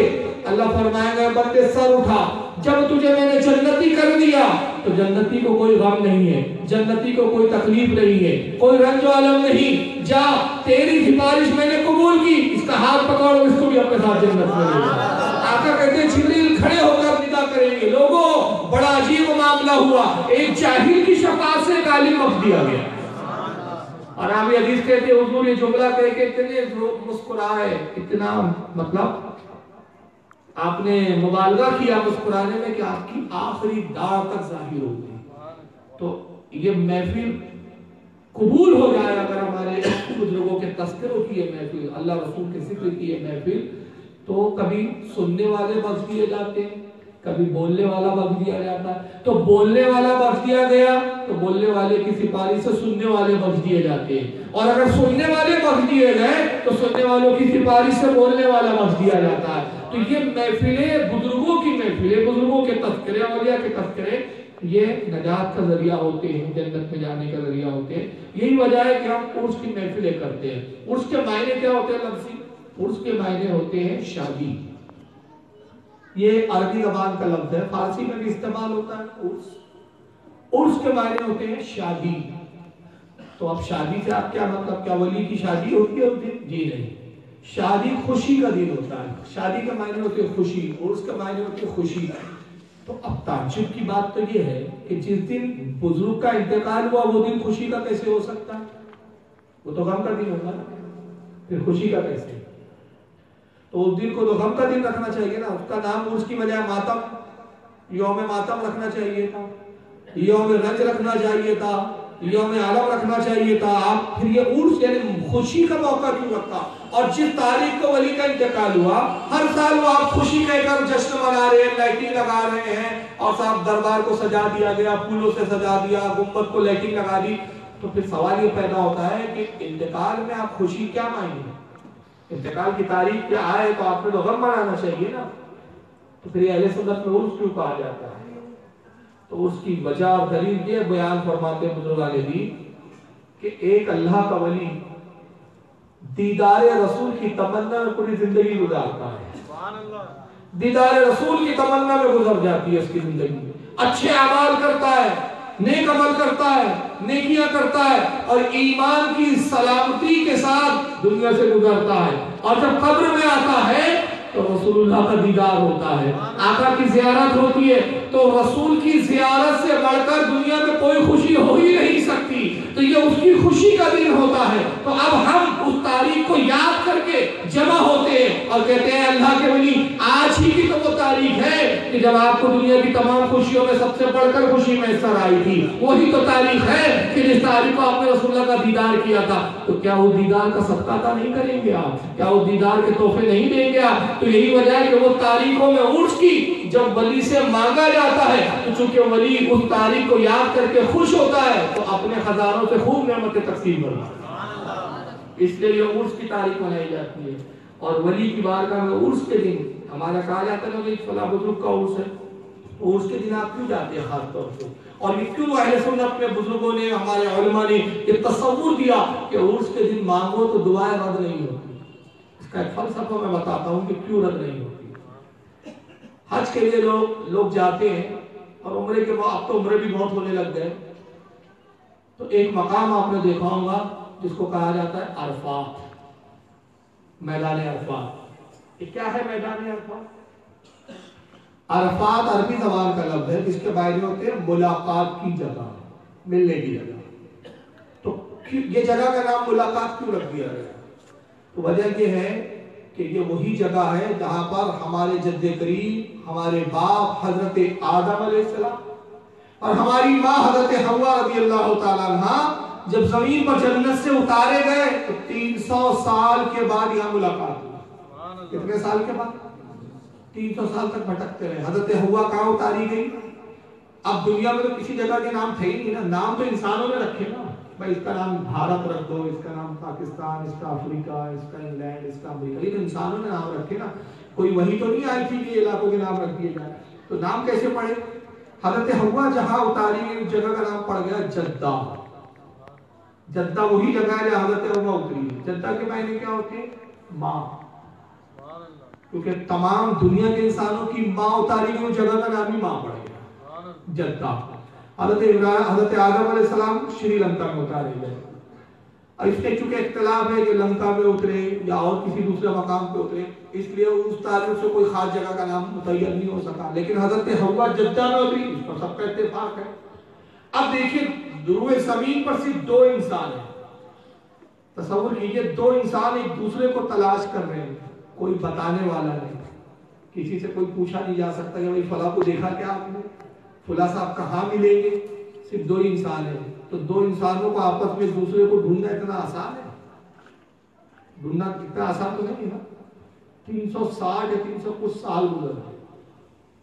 और हज़रत आदम रोते रहे, दुआ करते रहे, मौला, मुझसे जो लर्जिश हुई, जो कोताही हुई, माफ़ कर दे। हज़रत हुआ भी रो रही है। साढ़े तीन सौ साल का अरसा गुजर गया। तकरीबन उसके बाद अल्लाह ने आपकी उस लर्जिश को दरगुजर फरमाया। हज़रत हुआ से मुलाकात।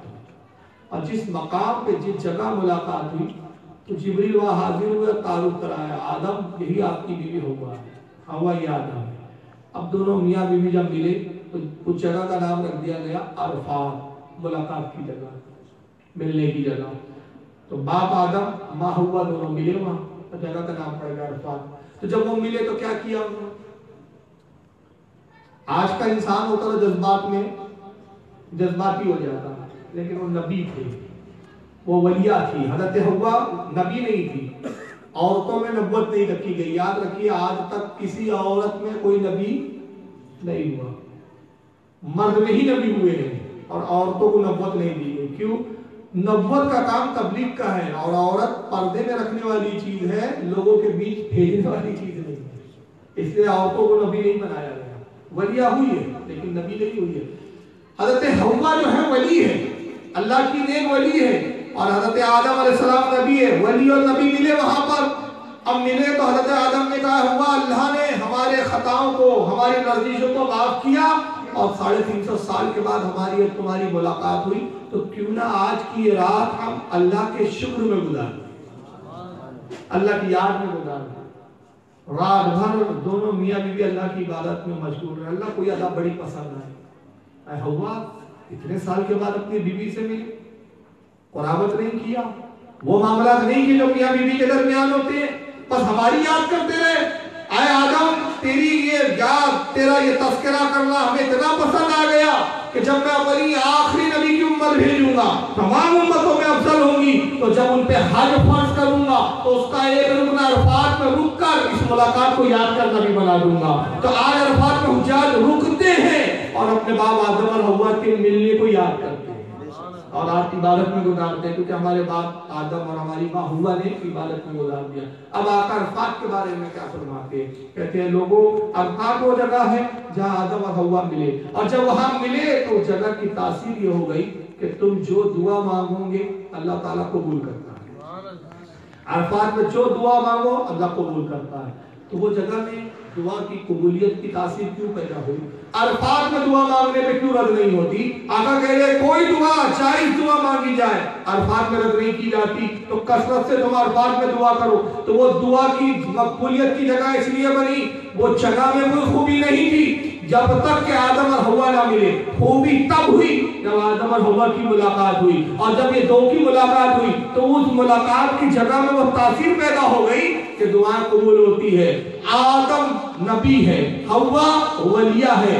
ये औलिया की बारगाह भी तो वही है कि जहाँ हम कहते हैं कि दुआएँ कबूल होती है। उर्स की तारीख को जो मांगो कबूल कर लिया जाता है। वजह यह है कि अल्लाह का वली सुन्नत का वली कब्र में जाता है। और तमाम नबियों के सरदार मुस्तफ़ा सल्लल्लाहु तशरीफ़ लाते हैं और फरिश्ते वली से तारुफ कराते या रसूलुल्लाह, ये आपका उम्मती, आपकी तस्करा करने वाला, आपकी याद करने वाला, आपका फुला गुलाम है। और गुलाम से कहा जाता है, बता जरा इनके बारे में कौन है? माँ कुंता तकुल हमको फ़ी हाजर रजूल, बता इनके बारे में तो दुनिया में क्या कहता था? तो वली कहता, भाई इन्हीं का तो तस्करा करता था, इन्हीं की मोहब्बत से तो गीत गाता था। जब देखा नहीं था तो इनके ज़िक्र करता था, अब देख रहा हूँ तो ताजीम ना करूँ। तो नबी और वली की मुलाकात होती है, और वो जगह में भी वो तासीर पैदा हो जाती है कि अब जो दुआ वहाँ मांगो, वो कबूल कर ली जाती है। इसलिए औलिया की बारगाह में जो दुआ की जाती है, वो जल्दी कबूल होती है। यही वजह है कि नबी पाक ने खुद हमें हुक्म फरमाया कि अपनी दुआओं के लिए वलियों की बारगाह पे जाया करो। हज़रत मौलाना रूम अलैह फरमाते हैं, सोहबत बेहतर अज सब साला इबादत बेरिया अल्लाह के वली की बारगाह में एक घड़ी बैठना, सौ साल की बेरिया इबादत से अगर शर्त है कि वाकई वो वली हो ढूँगी बाबा ना हो, वरना फिर हर नामा गुनाहों में अल्लाह का सच्चा अगर वली है, और उसकी बारगाह में अगर एक सोबत भी आप बैठ जाए, वली की सोबत के फ़ायदे क्या होते हैं, इनकी बारगाह का मकाम क्या होता है? सही बुखारी के अंदर किताब तौहीद के अंदर इमाम बुखारी इस हदीस को लाए हैं तीसरी जिल्द के अंदर ये बाब है किताब तौहीद। उसके अंदर ये बाब लाए हैं। और किताब तौहीद में गोया इसलिए लाके इमाम बुखारी बता रहे हैं कि वली की बारगाह में जाना तौहीद के खिलाफ नहीं है। लोग कहते हैं, बुज़ुर्गों को मानना ही शिरक है। हमने कहा, इमाम बुखारी का पहले फतवा लगाओ कि जो हदीस अभी का बयान करो तो किताब तौहीद में ला रहे गोया बता रहे हैं कि वलियों को मानना, वलियों की ताजीम, उनकी बारगाह में हाजिर होना शिरक नहीं है जनाब। ये ऐन तौहीद है, तौहीद का तकाजा है। आका फरमाते हैं उस हदीस के अंदर, हज़रत अब्दुल्ला इब्न मसूद से रिवायत है। और इसको दिगर मुहद्दिसीन ने जो लिखा, उसमें एक लफ्ज का और इजाफा किया। इमाम बुखारी ने वो लफ्ज नहीं लाया, लेकिन इसको इमाम तबरानी वगैरह ने और दिगर अइम्मा ने जो लिखा, उसमें इजाफा क्या किया? अब्दुल्ला इब्न मसूद कहते हैं कि जब हुजूर मिंबर पर आए, मस्जिद नबी में तो मुझसे कहा अब्दुल्ला लिख। कागज़ ले, कलम ले और लिख। गोया ये जुमले नबी के बता रहे हैं कि लिख इसीलिए कि जो मैं कुछ कहने वाला हूँ बड़ी खास बात है। बड़ी अहम बात है। जो अहम बात होती है, इसको लिखाया जाता है ना। अब जो आम बात हो हम कह देते हैं हाँ भाई, इसको याद रखना लेकिन कोई बहुत अहम बात हो, कहते हाँ भाई लिख कर रख लो। काम आएँगे, लिख के रख लो। तो लिखवाना गोया अहमियत बताना होती है। तो आका ने हज़रत अब्दुल्ला ने अब्बास से कहा अय अब्दुल्ला, इसको लिख ले, जो कुछ मैं कह रहा हूँ। हज़रत अब्दुल्ला फरमाते रज़ी अल्लाह ताला मैं कलम और दवाब लेके बैठ गया और फिर आका बताने लगे। तो आपने क्या बताया? कहा, सुनो, कौम बनी इसराइल में डाकू था। उसने निन्यानवे लोगों के कत्ल कर दिए। कई लोगों को लूटा, कई लोगों का माल हड़प कर गया और निन्यानवे लोगों को कत्ल किया। जब निन्यानवे लोगों को मार चुका तो दिन उसके दिल में ख्याल आया। पूरी ज़िंदगी गुनाहों में गुजर रही। चलो तौबा कर लेना चाहिए। आखिर ये भी कोई ज़िंदगी है कि पूरी ज़िंदगी सिर्फ़ गुनाहों में गुजर जाए तौबा कर लेना चाहिए। फिर फ़ौरन ख्याल आया कि मुझ जैसे पापी की दुआ कहाँ से कबूल होगी? चलो दुआ कैसे कबूल हो, इसके लिए कोई रास्ता मालूम करना चाहिए। आका कहते निकला। रास्ते में एक राहिब मिला। राहिब कहते हैं, यहूदियों के आलिम को। और पादरी कहते हैं ईसाइयों के आलिम को। ईसा, ईसाइयों के आलिम होते उनको पादरी कहा जाता है। यहूदियों के आलिम होते उनको राहिब कहा जाता है। तो राहिब से मुलाकात हुई और कहा कि सुनो अय आलिम, मेरा मसला और सवाल ये है कि मैंने निन्यानवे लोगों के कत्ल किए हैं। बहुत डाके डाले बड़ी चोरियाँ की, बड़े पाप किए। बताओ क्या मेरी तौबा कबूल हो सकती है? कोई ऐसा रास्ता है कि मेरी तौबा कबूल हो जाए? वो राही में सर से पैर तक देखा, नफरत से और गुस्से में कहा, होश की दवा कर पागल हो गया है। आगे निन्यानवे लोगों को मारने के बाद तू ये सोचता है कि अल्लाह तुझे बख्श देगा? जा, तुझ जैसे पापी की कोई बख्शिश नहीं है। इसने जैसी सुना गुस्से में आया, कहा, जब मेरी बख्शिश ही नहीं है और जब मुझे जहन्नम में जाना है तो तुझे क्यों छोड़ू? तलवार निकाली उसको भी कतल कर पूरी सेंचुरी फुल हो गई उसकी। फिर अपने काम में लग गया डॉक्टर के फिर एक दिन ख्याल आया कि नहीं यार, किसी सरफिरे राहिब से मुलाकात हो गई किसी और अच्छे आलिम को ढूंढना चाहिए, किसी और अच्छे आलिम को ढूंढना चाहिए। मैं अगर उसकी तशरी कर दूँ तो पहले किससे मिला था, वो वहाँ भी मौलवी था। अब जो ढूंढ रहा है, वो सुन्नी मौलाना ढूंढ रहा तो अब इत्तेफाक से उसको सुन्नी राही मिल गया। उसने कहा, भाई, सौ लोगों का कातिल हूँ, बख्शिश की कोई उम्मीद है? उसने सबसे पैर कर देखा, कहा कि गम न कर। रब बड़ा गफूर रहीम है, बड़ा करीम है। अगर तू समुंदर के छाप के बराबर भी गुनाह लाए तो अल्लाह माफ़ फरमाने वाला है। उसकी रहमत के आगे तेरे गुनाह क्या है? मगर तू खताकार है, तेरी दुआ जल्दी कबूल नहीं होगी। मैं तुझे शॉर्टकट रास्ता बताता हूँ। कहा, बता क्या, कैसे दुआ कबूल कहा फला पहाड़ी पर एक अल्लाह का वली है। उसकी बारगाह में जा, उससे दुआ करवा ले, अल्लाह के वली की दुआ रद्द नहीं की जाती।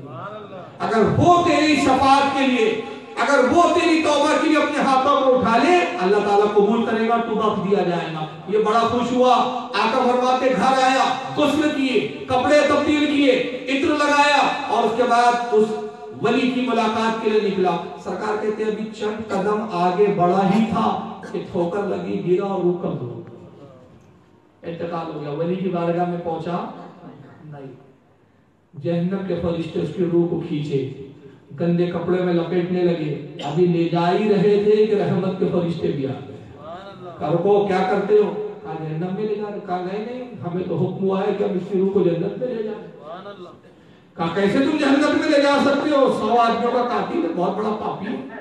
कहा, नहीं, सौ आदमियों का अगरचे कातिल है, लेकिन हमें तो हुक्म है कि हम जन्नत में ले जाए। उन्होंने कहा, नहीं, हम तो इसको जहन्नम में ले जाएँगे। बहन, बड़ी फरिश्तों ने कहा, चलो अल्लाह की बारगाह में अर्ज़ करें। ऐ परवरदिगार, क्या हुक्म है तेरा? कहाँ इसकी रूह को रखा जाए? अल्लाह ने शाह फरमाया कि ज़मीन की हदों को ना हो। अगर इसका जिस्म वली की बारगाह में, वली के घर से करीब है, इसको जन्नत में ले जाओ। और अगर इसका जिस्म वली के बारगाह से, वली के घर से दूर है और अपने घर से करीब है, इसको जहन्नम में डाल दो। अल्लाह को बख्शना मकसूद था। रब की रहमत बहाना चाहती है। फरिश्ते ने जब पैमाइश की तो अल्लाह ने उस ज़मीन के खत्ते जो वली और इसके दरमियान में था, उस खत्ता ज़मीन को खिताब किया और कहा ज़मीन अपनी तनाबों को खींच ले, अपने आप को सुखड़ा ले। ये मेरे वली की बारगाह में तौबा की नियत से जा रहा था। ये अदा मुझे पसंद आ गई ताकि इसको बख्शिश का ज़रिया मिल जाए। ज़मीन ने अपने आप को सुखाड़ लिया। आका कहते, वली की बारगाह से करीब हो गया। अपने घर से दूर हो गया उसको जन्नत में डाल दिया। ये तो हदीस बुखारी में है ना भाई? किताब तोहहीद में नाम भी बता रहा हूँ। बाप का जाओ, बाप में देख लो। किताब तौहीद जिल्द नंबर तीन में बुखारी में मौजूद है। इमाम बुखारी ने तो हदीस मुकम्मल कर दी, बात खत्म हो गई। तो इमाम बुखारी हदीस ला के दिखाना क्या चाह रहे हैं? बताना क्या चाह रहे हैं? तो इमाम बुखारी यही तो बताना चाह रहे हैं कि अरे जब बनी इसराइल का इतना बड़ा पापी वली की बारगाह में जाने की नीयत करता है तो बख्श दिया जाता है। तो मुस्तफ़ा की उम्मत का कोई गुनाहगार बंदा अल्लाह के वली की बारगाह में पहुँच जाए तो क्या वो बख्शा नहीं जाएगा? क्या उसकी मफरत नहीं की जाएगी? तो बेशक मफरत की जाएगी। ये औलिया इकराम इबादतों पे नाश कम करना चाहिए आदमी ने वलियों पे भरोसे ज़्यादा करना चाहिए। इबादत भी तब कबूल होती है जब दिल में मोहब्बत औलिया हो मोहब्बत अम्बिया हो। और अगर दिल इससे खाली है मोहब्बत नबी नहीं है मोहब्बत औलिया नहीं है फिर कितने ही सजदे कर लो इबलीस से बढ़कर तो कर भी नहीं सकते। उसने तो खूब सजदे किए मगर मोहब्बत आदम अलैहिस्सलाम से उसका दिल खाली था। अगर हज़रत आदम से मोहब्बत का एक जर्रा भी होता तो ये अंजाम उसका नहीं होता। तो बहरहाल, अल्लाह ताला हम सबको औलिया की मोहब्बत में मुब्तला रखे और बुजुर्गान दीन का अदब व एहतराम करने के हमें तोफ़ी अता फरमाए। मेरे प्रोग्राम में सवाल जवाब भी होते हैं। गुजशत बार में जब यहाँ हाजिर हुआ था, ताजुल औलिया में बड़ा लंबा खिताब हो गया था। मौका नहीं मिला। अगर, अभी अगर आप लोग चाहें इंटरेस्ट ले तो आधा घंटा या पौन घंटे का सवाल हम सेशन ले सकते हैं। किसी को अगर कोई सवाल पूछना हो, किसी भी ताल्लुक से, अकीदे के ताल्लुक से, मसाइल के ताल्लुक से तो वो सवाल पूछ सकता है। तो सवाल पूछने के लिए माइक है यहाँ पर, माशाल्लाह, माइक पर भी आके पूछ सकते हैं। उसको नीचे रख दिया जाए बेहतर है और अगर हिचकिचाए, अगर कोई शर्म हो तो कागज़ पे सवाल लिखकर भेज दें। तो कुछ पूछना हो तो बिल्कुल पूछ सकते हैं। आप पूछिए, बिल्कुल। भाई माइक चालू कर दो यार।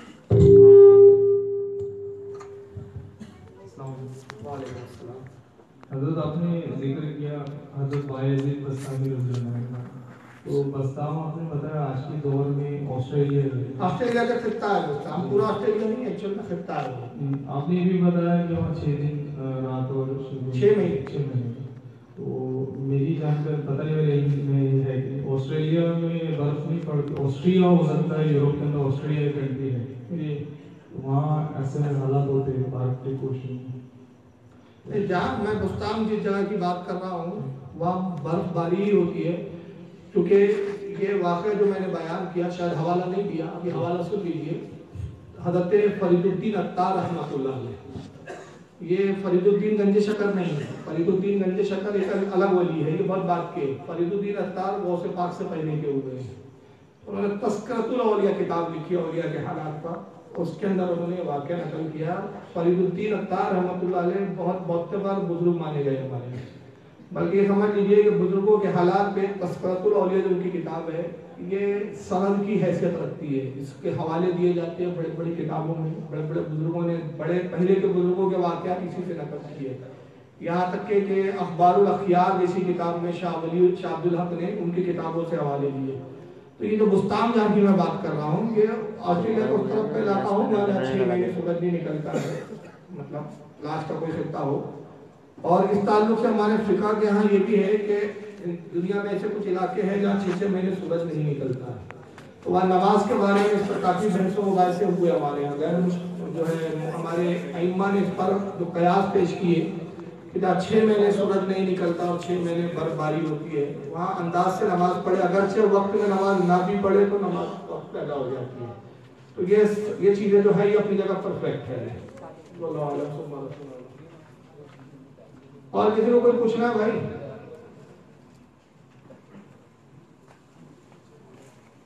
पिछली बार तो इतने सवाल आए थे यार के बोलना पड़ा था कि फिर इसके जवाब बाद में कभी दिए जाएँगे।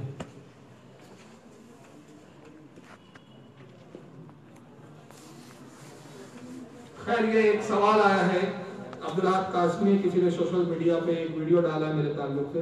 बहरहाल, इसका जवाब इंशाल्लाह दे दिया जाएगा और इसका भी कुछ जवाब दे भी गए हमारी तरफ़ से उलमा से। अभी उसका यहाँ मौका नहीं है, क्योंकि आज की महफिल में मैं नहीं चाह रहा कि मनुष्यों का निकलना है इसलिए आप देखेंगे मैंने कहीं उनका नाम ज़िक्र भी नहीं किया, इशारों में एक दो बातें इनकी तरफ़ तंज कर दी है।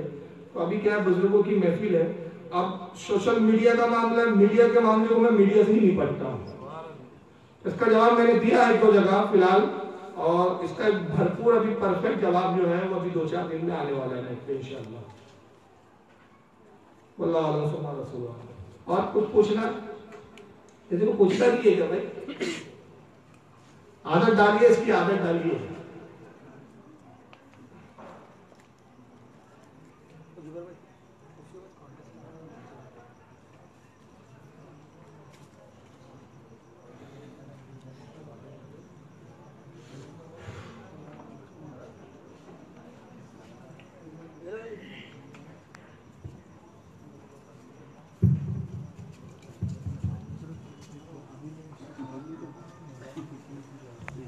अच्छा माइक पे पूछ लीजिए ना आदत तो पड़ेगी बोलने की कम से कम एक नजदी वहाबी ने मुझसे सवाल किया कि मज़ारों पे फूल क्यों चढ़ाते हैं?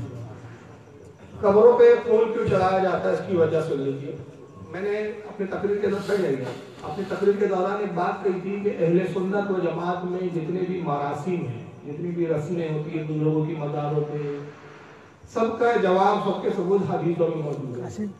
आसिफ चार्जर ला ये हदीस मुत्तफक अलैह है मतलब हदीस की जितनी मौतेबर किताबें सब में रिवायत मौजूद है। बुखारी से लेकर इब्ने माजा, नसाई वगैरह सब आखिरी किताबों तक और किसी भी इमाम ने इस हदीस को सही नहीं कहा। सबके नज़दीक ये मुत्तफक अलैह, यानी बिल्कुल सही दुरुस्त हदीस है। हदीस पाक ये है कि आका मदीने में कब्रिस्तान से गुजरे तो दो कब्रों के पास तशरीफ़ लाए।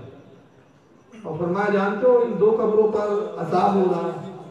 और किसी बड़े गुना की वजह से नहीं, बल्कि मामूली गुना की वजह से अजाब हो रहा है तो साहबा ने अर्ज़ किया, अल्लाह के नबी, किस चीज़, किस बुनियाद पर, किस चीज़ की वजह से इन पे अजाब हो रहा है? आका फरमाया, इनमें से एक वो था जो गीबत करता था लोगों की, और दूसरा वो था जो पेशाब के छींटों से नहीं बचता था। खड़े खड़े पेशाब करता था पेशाब के वक्त वो ढेला या पानी का इस्तेमाल नहीं करता था, पेशाब के छींटे जिसम पे आते थे इस गुनाह की बुनियाद पर इस पर अजाब हो रहा है और दूसरा जो है, वो चुगली गिबत करता था। यानी देखिए, रसूलुल्लाह का इस हदीस में गैब भी आ गया कि हुजूर को कब्र का अजाब भी नज़र आ रहा है किस बुनियाद पर अजाब हो रहा है, वो भी आता जानते हैं। फिर हुजूर ने हुक्म दिया कि दरख्त की एक शाख लाओ। तो ने एक दरख्त की शाख को तोड़ा, तर शाख को, उसको दो हिस्सों में आपने चीरा, एक कब्र पे एक शाख रखी, दूसरी कब्र में दूसरी शाख रखी और फरमाया, जब तक ये तर रहेंगी, इनके अजाब में कमी हो जाएगी। इस हदीस से ने ये निकाला कि जो तर चीज़ें होती है, जो दरख्त की जिन से हो, वो अल्लाह की तस्वीर बयान करती है जब तक सूख ना जाए, जब तक तारा ज़िक्र करती है। तो वली की कब्र पर अगर तर शाके आगे डाली जाए तो जिक्रुल्लाह से औलिया इकराम को उन्स होता है, उनको मोहब्बत होती है जिक्रुल्लाह से तो उनके दर्जात बुलंद होते हैं और गुनागार की कब्र पर डाला जाए तो उनके अजाब में कमी होती है। सवाल ये पैदा होता है कि हुजूर ने शाख डाली थी, आप गुलाब के फूल क्यों डालते हैं? तो देखिए, यहाँ असल में शाख का मामला नहीं है तर का मामला है। गुलाब के फूल इसलिए डाले गए, ये दो हदीसों से हमारे उलमा ने इसको लिया है। पहली हदीस तो यह है कि आका फरमाते हैं कि जानते हो, तोहफों में सबसे बेहतरीन तोहफा क्या है? ना देने वाले पर बार, ना लेने वाले पर बार। तोहफे बहुत से ऐसे होते हैं कभी देने वाले पे बार हो जाता है कभी लेने वाले पे बार होता है। अब किसी के ससुर जी बहुत पैसे वाले अब इतना बड़ा पलंग दे दिया कि गली में नहीं घुस रहा। तो देने वाले पे तो बार नहीं था, लेने वाले पर बार हो गया। और कभी याद हो गया कि लेने वाले का घर बहुत बड़ा ससुर जी बेचारे, गरीब है तो कुछ दिया ही नहीं। तो लेने वाले को तो बार नहीं है जगह बड़ी है घर की। देने वाले पे है कि बेचारा हैसियत नहीं रखता।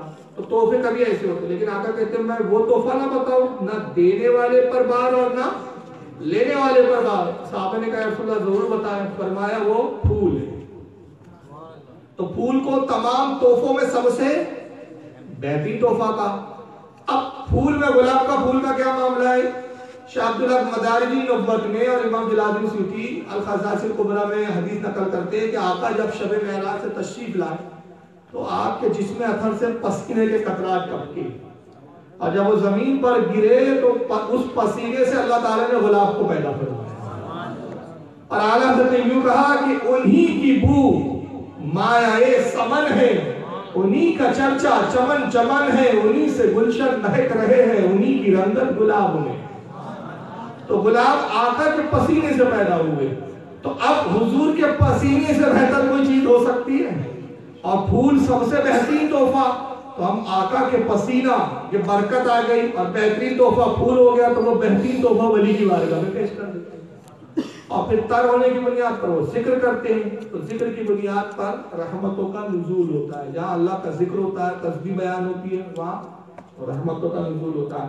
इस बुनियाद पर गुलाब के फूल हम डालते हैं।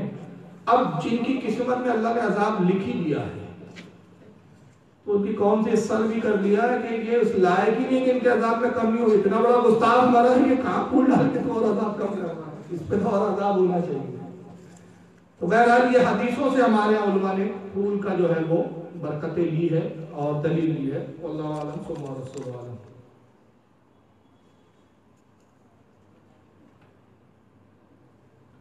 हाँ एक सवाल है कि बुज़ुर्ग बख्शिश करते हैं तो औरतों को मदारत पर जाने से उनकी बख्शिश हो जाएगी तो उनकी हद क्या होगी?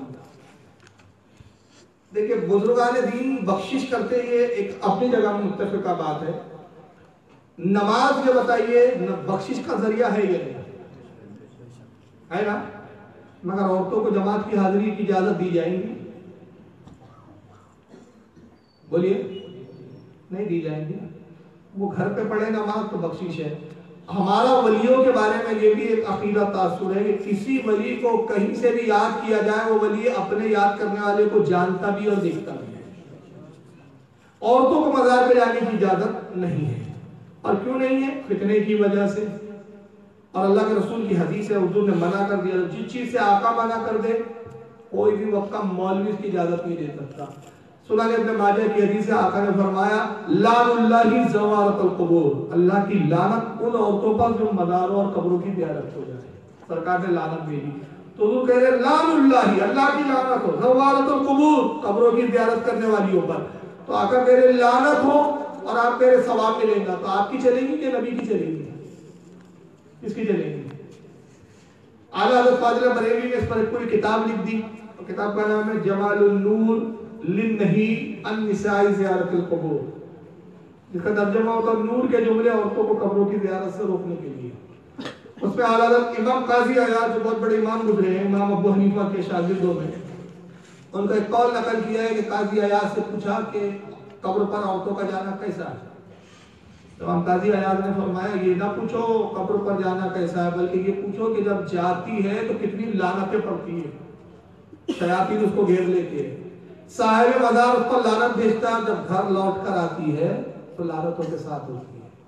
सिर्फ़ रसूलुल्लाह की कब्र मुबारक के अलावा किसी की भी कब्र की इजाज़त नहीं है। सरकार की कब्र की औरत जियारत कर सकती है, उसकी वजह दो है। पहली वजह, कि हुजूर पूरी उम्मत में मिसल बाप के हैं। हुजूर पूरी उम्मत में मिसल बाप के है। तो हुजूर की उम्मत की हर औरत हुजूर की बच्ची की तरह है, बेटी की तरह है। और दूसरा रसुल्ला ने खुद इसका हुक्म दिया है कि मन ज़ारा कब्री वजबत लहू शफाती, जिसने मेरी कब्र की जियारत की, उस पर मेरी शफात वाजिब हो गई। तो शफात वाजिब होती है इस बुनियाद पर औरतों को इजाज़त दी जाएगी। और वो बारगाह, इतनी बड़ी बारगाह है कि वहाँ बड़े से बड़ा पापी भी किसी औरत को देखे तो थोड़ा सा लिहाज रखता है, उसका दिल कांपता है। लेकिन आम वलियों की बारगाह में चूँकि वो कैफियत नहीं होती, बदनिगाहियाँ भी हो जाती है, गुनाह का सबब बनता है, इसलिए मना किया गया। तो अब कोई औरत अगर अपने घर में रहे, और किसी भी बुज़ुर्ग का तस्वुर करे, उनके लिए साले सवाब करे फातिया करे, याद करे तो ये सबब भी उसके बख्शिश और नजात के लिए बनता है, ये इससे भी उसकी बख्शिश हो जाएगी। यहाँ तक कि सही हदीसों में आया है, इमाम नबी अलैह ने अल अस्कार की किताब हदीस को इसके अंदर लिखा कि अल्लाह के औलिया तो वो होते हैं कि जिनको कहीं से भी पुकारो आका फरमाते मेरी उम्मत में अल्लाह ने ऐसे वलियों को भी भेजा कि तुम कहीं भी रहो और उनको मदद के लिए पुकारो, वो तुम्हारी आवाजों को सुनकर मदद करते हैं। और सरकार गौसे आज़म तो खुद यहाँ तक फरमाते हैं बाजतुल असरार के अंदर, फरमाते मेरा मुरीद मशरिक में हो और मैं मगरिब में। मेरा मुरीद अगर मशरिक में मुझे मदद के लिए पुकारो तो मैं उसकी मदद करूँ। तो वलियों के लिए हदें नहीं है ये हमारे लिए वो दूर है, ये नज़दीक है। वलियों के लिए सब यकसा, उनके लिए दूर और नज़दीक नहीं है। अब ताजिल का तो कौल है ना शही शाह हफ़्ते अकली क्या मतलब होता है भाई? हफ्त के मायने होते हैं साफ़ अकली आसमान शहीशाह हफ़्ते अकरीब यानी सात आसमानों का शहीशाह तो उनकी रसाई आम बात है। और बुज़ुर्गों का आलम ये होता है, बाबा फरीद से उनके एक मुरीद ने पूछा, इनका नाम है हज़रत ख्वाजा फखरुद्दीन। काजूर विलायत के कितने दर्जे? फरमाया, विलायत के सौ दर्जे। और तू जो देखता है कि एक वली अर्श आज़म पर गया, नमाज़ पढ़ा, ये विलायत का पहला दर्जा है। तो अर्श पे जाना आना ये वलियों के लिए आम बात होती है। आला फाजल बरेलवी मलफूल पे लिखते हैं, हज़रत बाउद्दीन जकरिया मुल्तानी, उनका जकरिया, हज़रत शाहबुद्दीन नक्शबंदी का कौल नकल किया, वो फरमाते हैं, वो अल्लाह का वली ही नहीं, जो अठारह हज़ार आलम को अपने नाखून में न देखे। तो वली एक अठारह हज़ार आलम को नाखून में देख रहा है तो आपके घर में हमारी माँ बहने बैठी है और किसी परेशानी में और वो याद कर रही है कि, हुजूर, ये परेशानी दूर करो तो उसको नहीं देखेगा तो उसके लिए जाना ही शर्त नहीं है। औरतों को इजाज़त नहीं है, घर में बैठ के वो दुआ करे, हाजत तलब करे। और वली की बारगाह से अफजल तो नमाज़ है ना भाई, नमाज़ फ़र्ज़ है। जियारत तो मुस्तहब है, जब फ़र्ज़ के लिए इजाज़त नहीं दी गई तो मुस्तहब के लिए कैसे इजाज़त दी जाए एक मिनट एक मिनट। आपके पेज पे प्रोग्राम हेलो हज़रत, आपके पेज पे प्रोग्राम लाइव चल रहा है। उस पर एक सवाल आया है, मसूद अहमद साहब का। या मोहम्मद कहने का क्या मकसद है? जबकि इसका मतलब होता है, ए मोहम्मद। अच्छा भाई अभी खैर आपको पता नहीं है कि प्रोग्राम जो है लाइव भी हो रहा है भाई नेट पर। और वो नेट पे किसी ने पे सवाल भेज दिया कि देखिए, आप नहीं पूछ रहे बाहर से पूछ रहे हो। गालिबन पाकिस्तान का है। पाकिस्तान से। चलिए देखिए बहरहाल नेट जा रहा है प्रोग्राम या मोहम्मद कहने का क्या मतलब है? या मोहम्मद के मायने ए मोहम्मद होते हैं। ये सही है लफ्जी तर्जुमा या के आए होते हैं लेकिन अरबी अगर थोड़ा सा जानते हैं तो उनको पता होना चाहिए या होते निदा है इस्तेआनत के लिए इस्तेमाल होता है। इस्तेआनत कहते हैं मदद के लिए इस्तेमाल होता है।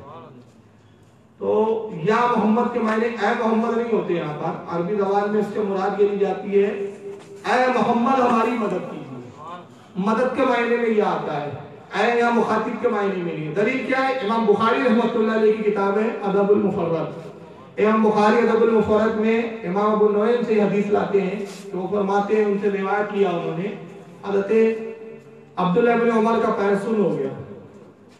सुन होना समझता है ना आपको? सोई भी अगर चुबाए तो उसमें असर नहीं होगा। चलने फिरने से माजूर हो गए। खूब इलाज किया अब्दुल्ला इब्न उमर ने। और अब्दुल्ला इब्न उमर कौन है? साहबी हज़रत उमर के साहबजादे फारूक आज़म के साहबजादे और रसूलुल्लाह के जलील कद्र साहबी तो पैर सुन हो गया। तो उनके बाद एक साहबी आया और कहा कि उसको याद कीजिए, उसको आप पुकारिए। इस पैर का इलाज यह है कि उसको पुकारिए, जिससे आप सबसे ज़्यादा मोहब्बत करते हैं। अब्दुल्ला इब्न उमर ने वहीं से निदा की जो हुजूर के विसाल की बात बात की बात है। वहाँ से निदा क्या की?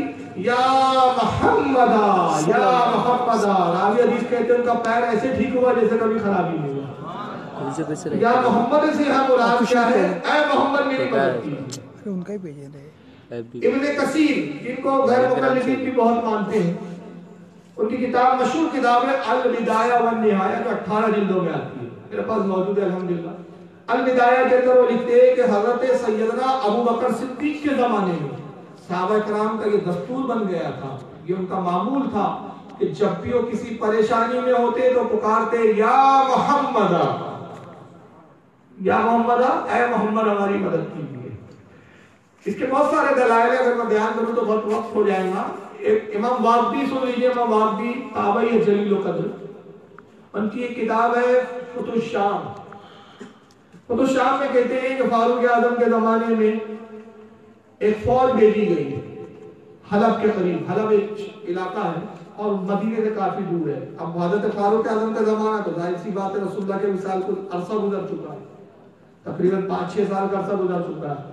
उसके सिपा सालार थे खालिद इब्न वलीद रज़ी अल्लाह तो एक मौका ऐसा आया कि तकरीबन सौ साहबा अनाज वगैरह की तलाश में खाने पीने की चीज़ चीज़ों की तलाश में गाँव की तरफ़ बढ़े तो, तो तकरीबन ग्यारह सौ ईसाइयों ने उन सौ साहबा को घेर लिया। अब तादाद कितने गुना है? दस गुना है। और घेरने लगे तो साहबा कराम ने देखा तो ये जो साहबा की फौज थी सौ आदमियों का जो लश्कर था इसके सिपा सालार थे हज़रत शर्जील बिन हुसना ये भी साहबी के जलील होकर तो शर्जिल बिन हुसना ने देखा कि हम सौ आदमी ग्यारह सौ से नहीं लड़ पाएँगे और हमारे मौत होना यकीनी है। अब जंग चल रही है तो उसी जंग में लड़ते थे और आवाज़ लगाते थे। हजूर के मदीने की तरफ़ रुक करके मदीने की तरफ़ रुक करके क्या पुकारते? इंजिला या मोहम्मदो या मंसूरो अम्मतहु अम्मतहु अम्मतहु क्या मतलब हुआ? अल्लाह की रहमत नाजिल हो अल्लाह की रहमत। यानी हुजूर को रहमत करे, क्योंकि कुरान ने हुजूर को क्या कहा? वमा सल्ला का इल्ला रहमत लिल आलमीन। ऐ अल्लाह की रहमत नाजिल हो जा। ऐ मोहम्मद सल्लल्लाहु अलैहि वसल्लम, उम्मतहु उम्मतहु, या मंसूर ऐ उम्मत के मददगार, उम्मतहु उम्मतहु उम्मतहु। ऐ उम्मत के मददगार, ऐ रसूलुल्लाह, मदद कीजिए अपनी उम्मत की, मदद कीजिए अपनी उम्मत की, मदद कीजिए अपनी उम्मत की। हज़ारों मील दूर से पुकारने रावी हदीस कहते हैं कि उन्होंने पुकारना शुरू किया और ये सौ लोगों ने ग्यारह सौ पे फतेह पा ली ये ताकत और कुवत हासिल हो गई। इमाम नबी रहमतुल्लाह में और गैर मुकल्लिदों के बहुत बड़े अल्लामा हैं। गैर मुकल्लिदों के जिनका नाम है इब्ने तैमिया अब्दुल हलीम इब्ने तैमिया की किताब है जिसका नाम है अल किलम इब्ने तैमिया ने भी ये रिवायत लिखी है और वो यह है कि अल्लाह के नबी फरमाते अगर कोई जंगल में गुम हो जाए कोई जंगल में रास्ता भटक गया है अगर रास्ता नहीं मिल रहा, परेशान हो गया। या किसी की सवारी या ऊँट उसको छोड़कर भाग जाए, अब जंगल में आपको सवारी कैसे ढूंढोगे आप? तो आका फरमाते हदीस है, सरकार फरमाते वो जंगल में यूँ पुकारे अयूनी या इबादिल्ला अयूनी या इबादिल्ला अल्लाह के बंदों मेरी मदद करो अल्लाह के बंदों मेरी मदद करो। आका कहते हैं, अल्लाह के कुछ ऐसे बंदे जिनको तुम नहीं देखते, वो तुम्हें देखते वो तुम्हारी ज़रूर मदद कर दो। तो ये पुकारना मदद के लिए। यहाँ भी देखो, या इबादिल्ला या अल्लाह के बंदो। तो यहाँ मुराद हो अल्लाह के बंदो मेरी मदद करो। तो यहाँ जो है, उर्फ़, या जो है, ये उर्फ़ निदा इस्तेआनत के लिए आता है, जिसके मायने ये होते हैं मदद मदद करने वास्ते पुकारने के लिए। तो बहरहाल ये जायज़ है, या मोहम्मदा कहना। और अगर ये नाजायज है किसी के नज़दीक तो फिर इसको चाहिए कि सबसे पहले साहबा पर हुक्म लगाए। इब्न तैमिया पर हुक्म लगाए इब्न कसीर पर हुक्म लगाए इमाम बुखारी पर हुक्म लगाया जिन्होंने अदबुल फरक में हदीसें नकल की। बल्कि इमाम बुखारी ने तो बाद ये कायम किया और बाद ये किया कि वो शख्स जिसका पैर सुन हो जाए वो क्या करे? बाप का नाम ये रखा गोया बता रहे कि या मोहम्मद पुकारे ये इसका इलाज है। वल्लाहु आलम सुन्ना रसूल एक सवाल और है जी। क्या ताजिल औलिया रदी अल्लाह ताला के कोई खुलफा थे? क्या थे? खुलफा। खलीफा? ताजुल औलिया के कुछ खुलफा हुए हैं। सबसे पहले ये देख लीजिए असल में कि सरकार ताजुल औलिया को खिलाफत ओवैसिया है और ये खिलाफत ओवैसिया क्या होती है कि चंद बुज़ुर्ग है, पूरी तारीख में अगर आप देखोगे तो बहुत कम बुज़ुर्ग है जो उंगलियों पे गिने गए जा सकते हैं, जिनको ये खिलाफत मिली है। ये बहुत मखसूस और खास बुजुर्गान दीन है जिनको ये खिलाफत मिली है। खिलाफत ओवैसिया बोलते हैं। इसमें बराए रात रसूलुल्लाह खुद खिलाफत अता करते हैं। बीच में कोई कड़ी नहीं होती।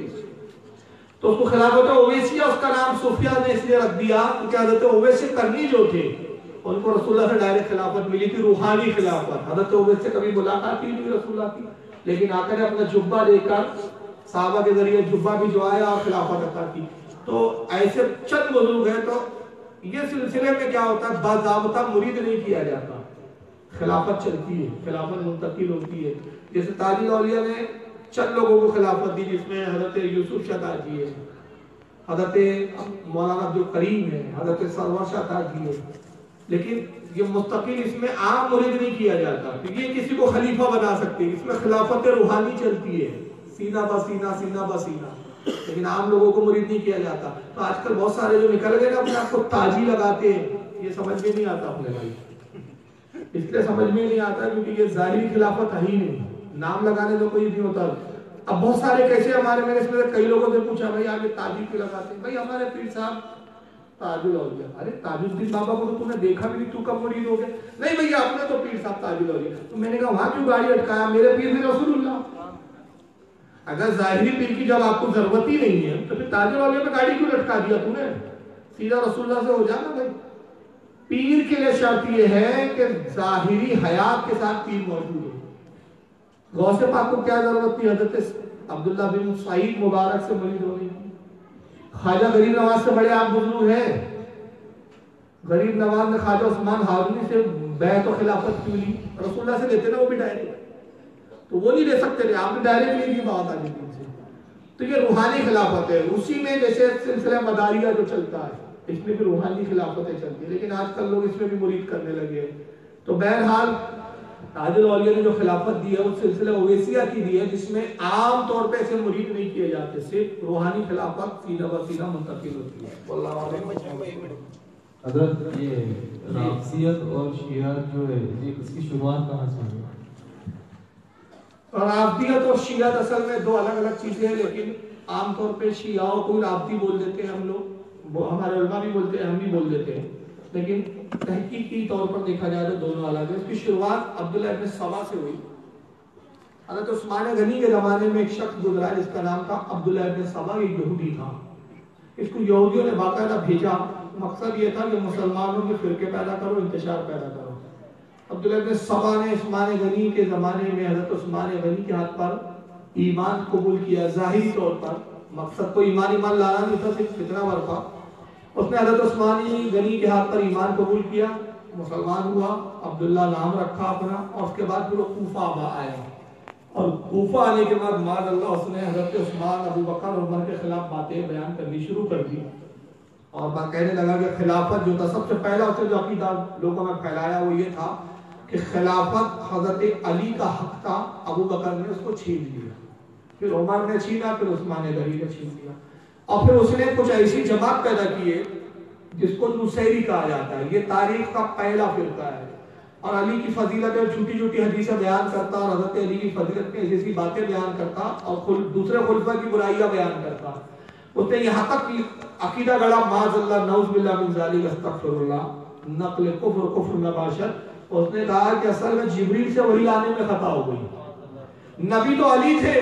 जब पहली वही आई तो जिब्रील की मुलाकात मोहम्मद सल्लल्लाहु अलैहि वसल्लम से हो गई और जिब्रील से गलती हुई कि वो मोहम्मद को अली समझ बैठे और वही पहुँचा दी। अब जब वही पहुँचा दी बाद में गलती हो गई तो अल्लाह ने कहा कि जिब्रील तुझसे इतनी बड़ी गलती हो गई।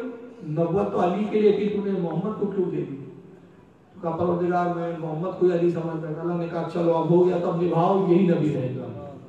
तो माजल्ला उसने यहाँ तक लिखा शियाओं की बात किताबों में मौजूद है ये। उसने यहाँ तक कहा कि चूँकि मोहम्मद वही लेने के लायक नहीं थे और उतने ताकतवर नहीं थे, अली में बहादुरी थी ताकत थी, मोहम्मद वही का जब बोझ आता तो बोझ नहीं बर्दाश्त कर पाते थे। आधी वही लेते उसके बाद आपको पखाने की हाजत आ जाती और कहते थे, मैं तो जा रहा हूँ पखाने, अली, बाकी वही तुम ले लो। और उसके लगता है अल्लाह ने पूरी किताब भी लिखी है बाकायदा उसके बाद उसने फिर एक दूसरा अकीदा ये फैलाया वो कूफा में फैला रहा है। उस वक्त हज़रत अली मदीने में थे चुके। वहाँ के हालात ठीक से पता नहीं थे उस वक्त। फैलाते फैलाते उसने ये तक अकीदा कह दिया, कहा कि अली खुदा और अल्लाह अपनी किबरियाई पर, अपनी रुबुयत और उलूहियत पर पर्दे डालकर ज़मीन पर अली की शक्ल में आ गया। और जब हज़रत अली फिर कूफा पहुँचे तो वहाँ ये तमाशा देखा कि बाकायदा ऐसा फिरका है जो अली को खुदा कह रहा है। और वो हज़रत अली जब कूफा पहुँचे तो ये पहुँच गए सारे और सजदा जग शुरू कर दिया। इन्होंने कहा मर्दूद हो के क्या करते हो? तो शिरक है, कुफ्र है। उन्होंने कहा अली आप ही खुदा तो पता चला कि अब्दुल्ला ने सबा की कारफ्तार की तो ये फिरके का नाम फिरका नुसैरी आया है तारीख में। फिरका हज़रत अली ने कई हज़ारों को इसमें ज़िंदा जला दिया। अब एक तादाद को ज़िंदा जलाया, दूसरे बचे हुए थे। उनसे कहा कि अगर तुम तौबा कर लो तो तुमको छोड़ दूँगा। तुम अपने साथियों का अंजाम देख चुके हो। इन्होंने मुझे खुदा कहा मैंने इनको जला दिया क्योंकि ये कुफ्र है, मुर्तद हो गई और मुर्तद की सजा मौत है। तो जो बच गए वो क्या कहते हैं, अली, तुमने इनको जलाया तो हमारा अकीदा और पुख्ता हो गया। माजल्ला। और उन्होंने वजह क्या बयान की? कहा कि अली, अगर तुम खुदा ना होते तो अजाब आग का क्यों देते? जहन्नम में जलाना ये तो खुदा का ही अजाब है। ये काम तुमने करके बता दे कि तुम ही खुदा हो। तो मौला कायनात ने फिर अब्दुल्ला अब्बास के हुक्म से उसको कत्ल किया। तो नुसैरियों में फिर जो तौबा किया कुछ लोगों ने मौत के खौफ से और फिर उन्होंने अपना नाम नुसैरी से चेंज करके रखा शियान अली। उसको उन्हें कहा जाता था शियान अली। अली से बहुत मोहब्बत के दावे करते थे बड़ी बड़ी बातें करते थे, और एन जब जंग का मौका आता तो ये बुद्धि दिखा के भाग जाते। यहाँ तक कि हज़रत अमीर माविया से जब हज़रत अली के इख्तलाफात हुए सियासी मामला में तो ये हज़रत अमीर माविया से जब जंगी होती थी तो अक्सर मौके पर अली को धोखा देते ये पूरी ज़िंदगी यही हाल रहा। फिर हज़रत इमाम हसन का जमाना आया तो उनके साथ भी गद्दारी की। और फिर हुसैन पाक के साथ तो इन्होंने बाकायदा ये किया कि कूफा बुलाया, खत लिख लिख कर जब इमाम हुसैन पहुँच गए तो इब्ने सियास से सौदे कर लिए, रिश्वतें ले ली और खुद ही इमाम हुसैन को शहीद कर दिया। तो इनका हज़रत इमाम रसा अली, जो इमाम जाफ़र सादिक के साहबजादे, वहाँ तक नाम शिया चलता रहा। फिर हज़रत रसा अली अलैहि रज़ी अल्लाह जो थे इमाम इमाम जाफ़र के बाद, उनके जमाने में इन्होंने क्या किया? हज़रत रजा अली, इमाम रजा अली को उभारा कि बादशाह के खिलाफ जंग करो, हुकूमत आपके हक में आना चाहिए। हुकूमत पर अहले बैत का हक है, अहले बैत की खिलाफत के लायक है। उबार उबार के इनको मैदान में लिया और ऐ जब मैदान जंग में जब जंग छिड़ी तो ये हज़रत इमाम मूसा अली रजा को छोड़कर भागे तो इनका नाम फिर हज़रत इमाम मूसा अली रजा ने वहाँ रखा, राफदी। राफदी के मायने होते छोड़कर भागने वाले। क्या मायने होते छोड़कर। तो वहाँ से शियाओं का एक नाम राहती पड़ा। तो असल में है कि शिया ही अकीदा वही है। और आज भी ये इमामों की मोहब्बत के बड़े बड़े दावे करते हैं, लेकिन अकीद इतने घटिया है, जो पूछिए मत। इनकी बहुत सारी किताबें मेरे पास हैं, मैं पढ़ता हूँ उनकी किताबें। उसूल काफ़ी इनकी किताब पढ़िया उसमें लिखते हैं, जो कुरान ये डुप्लीकेट है। तो ओरिजिनल कुरान का वो इमाम मेहदी लेके गायब हो गए, कयामत के दिन लेकर आएँगे तो ये अभी जो हमारे पास है डुप्लीकेट कुरान। है कहते कुरान में ये आयतें ऐसी नहीं थी बाकायदा लिखा है और सब इमाम जाफ़र के खाते में डाला माजल्ला इनका सबसे बड़ा रावी है शियाओं का अबू बसीर। और वो कहते बहुत बड़ा इमाम था अबू बसीर, बस आपको उसूल काफ़ी कुरान के बाद सबसे अफजल किताब एक मानते नहजुल बलागा हज़रत अली के खुद बातें बोलते और उसके बाद उसूल काफ़ी मानते कहते हर हदीस इमाम जाफ़र से काला अबू जाफ़र सादी और फिर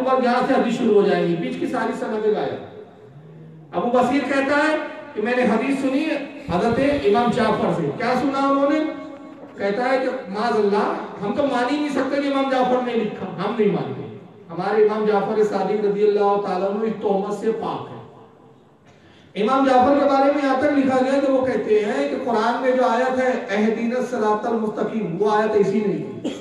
तो कैसी थी? अहदीन सरातल अली। कि अल्लाह हमको अली के रास्ते पर चला। तो अबू बकर ने क्या किया? अली हटा के मुस्तराते मुस्तकीम कर दिया। कहते हैं सूरह बकरा में ये आयत यूँ नहीं थी। अभी कुरान में वो आयत कैसी है? यूँ है। आ, क्या है वो? आयत करीमा ये है।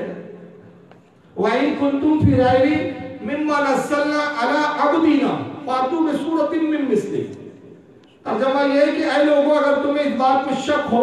अपने खास बंदे मोहम्मद पर उतारा, अल्लाह की तरफ़ से नहीं है। फातू में सूरतिन मिन तो इसके मिस्ल, इसके जैसी एक सूरत तो लेकर आओ। तो कहते आयत ऐसी नहीं थी कि अबू बकर ने इसको बदल दिया। कुरान में भी ऐसी जो मैं पढ़ रहा हूँ, कैसी थी? तो उसने काफ़ी बताती हूँ ऐसी थी। वही कुंतुम फिराइबी मिम्मा अला अली और जो कुछ हमने अली पर नाजिल किया, अगर अली की दाद में तुम्हें शक हो तो अली की जैसे एक और बना के लेकर अली जैसा एक और लेकर आओ। तो ऐसी बाकायदा लिखा है तो मैंने कई राबियों से, शियाओं से, मैंने खत किताबत की एक जमाने में तो मैंने कहा, भाई, ये तो डुप्लीकेट है हमारे पास। अब ओरिजिनल क्या था? वो तो उसूल काफ़ी में मिल गया ना तो उसके मुताबिक ओरिजिनल कर लो ना। उसको क्यों नहीं तो ये बहुत बदतरीन इनके अकीदे हैं। माजल्ला सबसे बदतर अकीदा तो ये है कि रसूल के इंतकाल के बाद सिर्फ़ छह साहबा के जो ईमान पे रहे बाकी सारे साहबा काफ़ी लोग सब ईमान से फिर गए। और अबू बकर और उमर के बारे में तो साफ़ लिखते हैं कि मुनाफिक थे ये लोग उस्मान गनी के बारे में कहते हैं कि उनका नसब सही नहीं था नाजायज बच्चे अगर वो रिवायतें मैं सुनाऊं तो आप सुन नहीं सकेंगे और मैं बता नहीं सकूँगा पूरी रात गुजर जाएँगी बात तमाम अल्लाह ताला इनके फिक्रों से हमें महफूज रखे। अगर कोई औरत कहे कि मैं अपने काम के आगे किसी चीज़ को नहीं मानती यहाँ तक के कि इस्लाम को भी नहीं मानती, माजल्लाह ये तो कुफर है। इस्लाम को नहीं मानना मतलब कुफर है ना? इस्लाम की जिद क्या है? कुफर। मैं अपने काम के आगे कुछ किसी को नहीं मानती, इस्लाम को भी नहीं मानती। जब इस्लाम ही को नहीं मानती तो फिर बचाई क्या भाई? तो अगर अल्लाह ताला समझ अता फरमाए तो ऐसी औरत को तौबा करनी चाहिए। शादी वाली है तो शोहर पर लाजिम है कि अपनी बीवी पर तौबा करवाए, अपनी बीवी से कलमा पढ़ाए इत्र क्यों लगाते हैं? ये तो बड़ा अजीब सवाल है। कोई इतर वाले बैठे बहरहाल इत्र लगाना सुन्नत है आका की। और फरमाते मुझे तुम्हारी दुनिया में से तीन चीज़ें, चार चीज़ों से बड़ी मोहब्बत है। कहते, दुनिया की बाकी चीज़ों से मुझे इतनी मोहब्बत नहीं, लेकिन चार चीज़ें ऐसी दुनिया की तुम्हारी जिससे मुझे बहुत मोहब्बत है। एक, तकिया। तकिया जिससे टेक लगाते हैं। तो तकिए से क्यों मोहब्बत है? तकिए से सुकून और आराम मिलता है। दूसरा हजूर फरमाते हैं, दूध। और दूध जो होता है, वो बहुत ताकतवर होता है। हजूर फरमाते हैं, इसमें बेशुमार लाइलाज बीमारियों का इलाज है दूध में। इसलिए कि गाय का दूध। हजूर फरमाते हदीस में आया याकूब हज़रत इमाम याकूब कलयूबी अलैह बुज़ुर्ग गुजरे हैं। उनकी किताब है नवाजुल कलयूबी उसमें हदीस लिखी कि हजूर कहते हैं, गाय का दूध अपने ऊपर लाजिम कर दो, कि ये हर जगह की घास चलती है और इसके दूध में शिफा रखी है अल्लाह ताला कई लाइलाज बीमारियों का इलाज है दूध के अंदर। तो फरमाया, दूध मुझे पसंद है। तीसरा फरमाते, औरत। औरत क्यों पसंद है? इसलिए कि औरत से नस्ल बढ़ती है। औरत ना होती तो दुनिया बढ़ती है नहीं। और तीसरा, चौथा फरमाते हैं, खुशबू। तो हुजूर को खुशबू पसंद थी, खुशबू लगाते थे। और हदीसों में ये भी आया कि मगरिब के वक्त, हमारी औरतें बहुत सारी करती हैं, उनको नहीं मालूम है ये चीज़ है लेकिन मैं बता देता हूँ ताकि आप उस नियत से करेंगे तो सवाब भी मिलेगा। आका फरमाते हैं कि मगरिब के वक्त अपने घरों को खुशबू से मुअत्तर करो। तो खुशबू किस चीज़ के अरब में दस्तूर था? लुभान होता है ना लुभान जलाते थे। तो लुभान से दो फ़ायदे होते हैं। तो खुशबू और दूसरा जो जरासीम होते हैं फिजा में, कीड़े, मकोड़े, ये उसको मारता है, लुभान, उसको हलाक करता है। तो मगरिब के वक्त अपने घरों को खुशबू से मुअत्तर करो, इसलिए कि फरिश्तों की ड्यूटियाँ बदलती है उस वक्त। जो एक फरिश्ते थे, वो जा रहे हैं तो जो जा रहे हैं, उनका खुशबू से इस्तकबाल कर रहे हैं विदा कर रहे हैं खुशबू से। और जो नए ड्यूटी वाले फरिश्ते रहमत के आ रहे हैं, उनका इस्तकबाल कर रहे हैं। और जब मज़ारों पे अगरबत्तियाँ जलाते हैं इसको वहाँ लोगों को बड़ी परेशानी होती। बेचारे अधूरे मालूमात है। मुस्कद अहमद में हदीस से बात लिखी, इमाम अहमद इब्न अंबल ने कि हज़रत उमर ने अपने जमाने में सहाबी को मुतय्यन किया था, तनख्वाह दी जाती थी। उनका काम ही क्या था कि मगरिब की नमाज़ पढ़कर आते मस्जिद में, मस्जिद नबी में तो घर नहीं जाते, हुजूर के रोज़े पे जाते थे और लोहान चलाया करते थे। और हुजूर के रोज़े पर लोहान घुमा के पूरा खुशबू से मुअत्तर करते थे। तो ये खुशबू जो है इत्र वगैरह ये सरकार को पसंद है और खुशबू के बहुत सारे फ़ायदे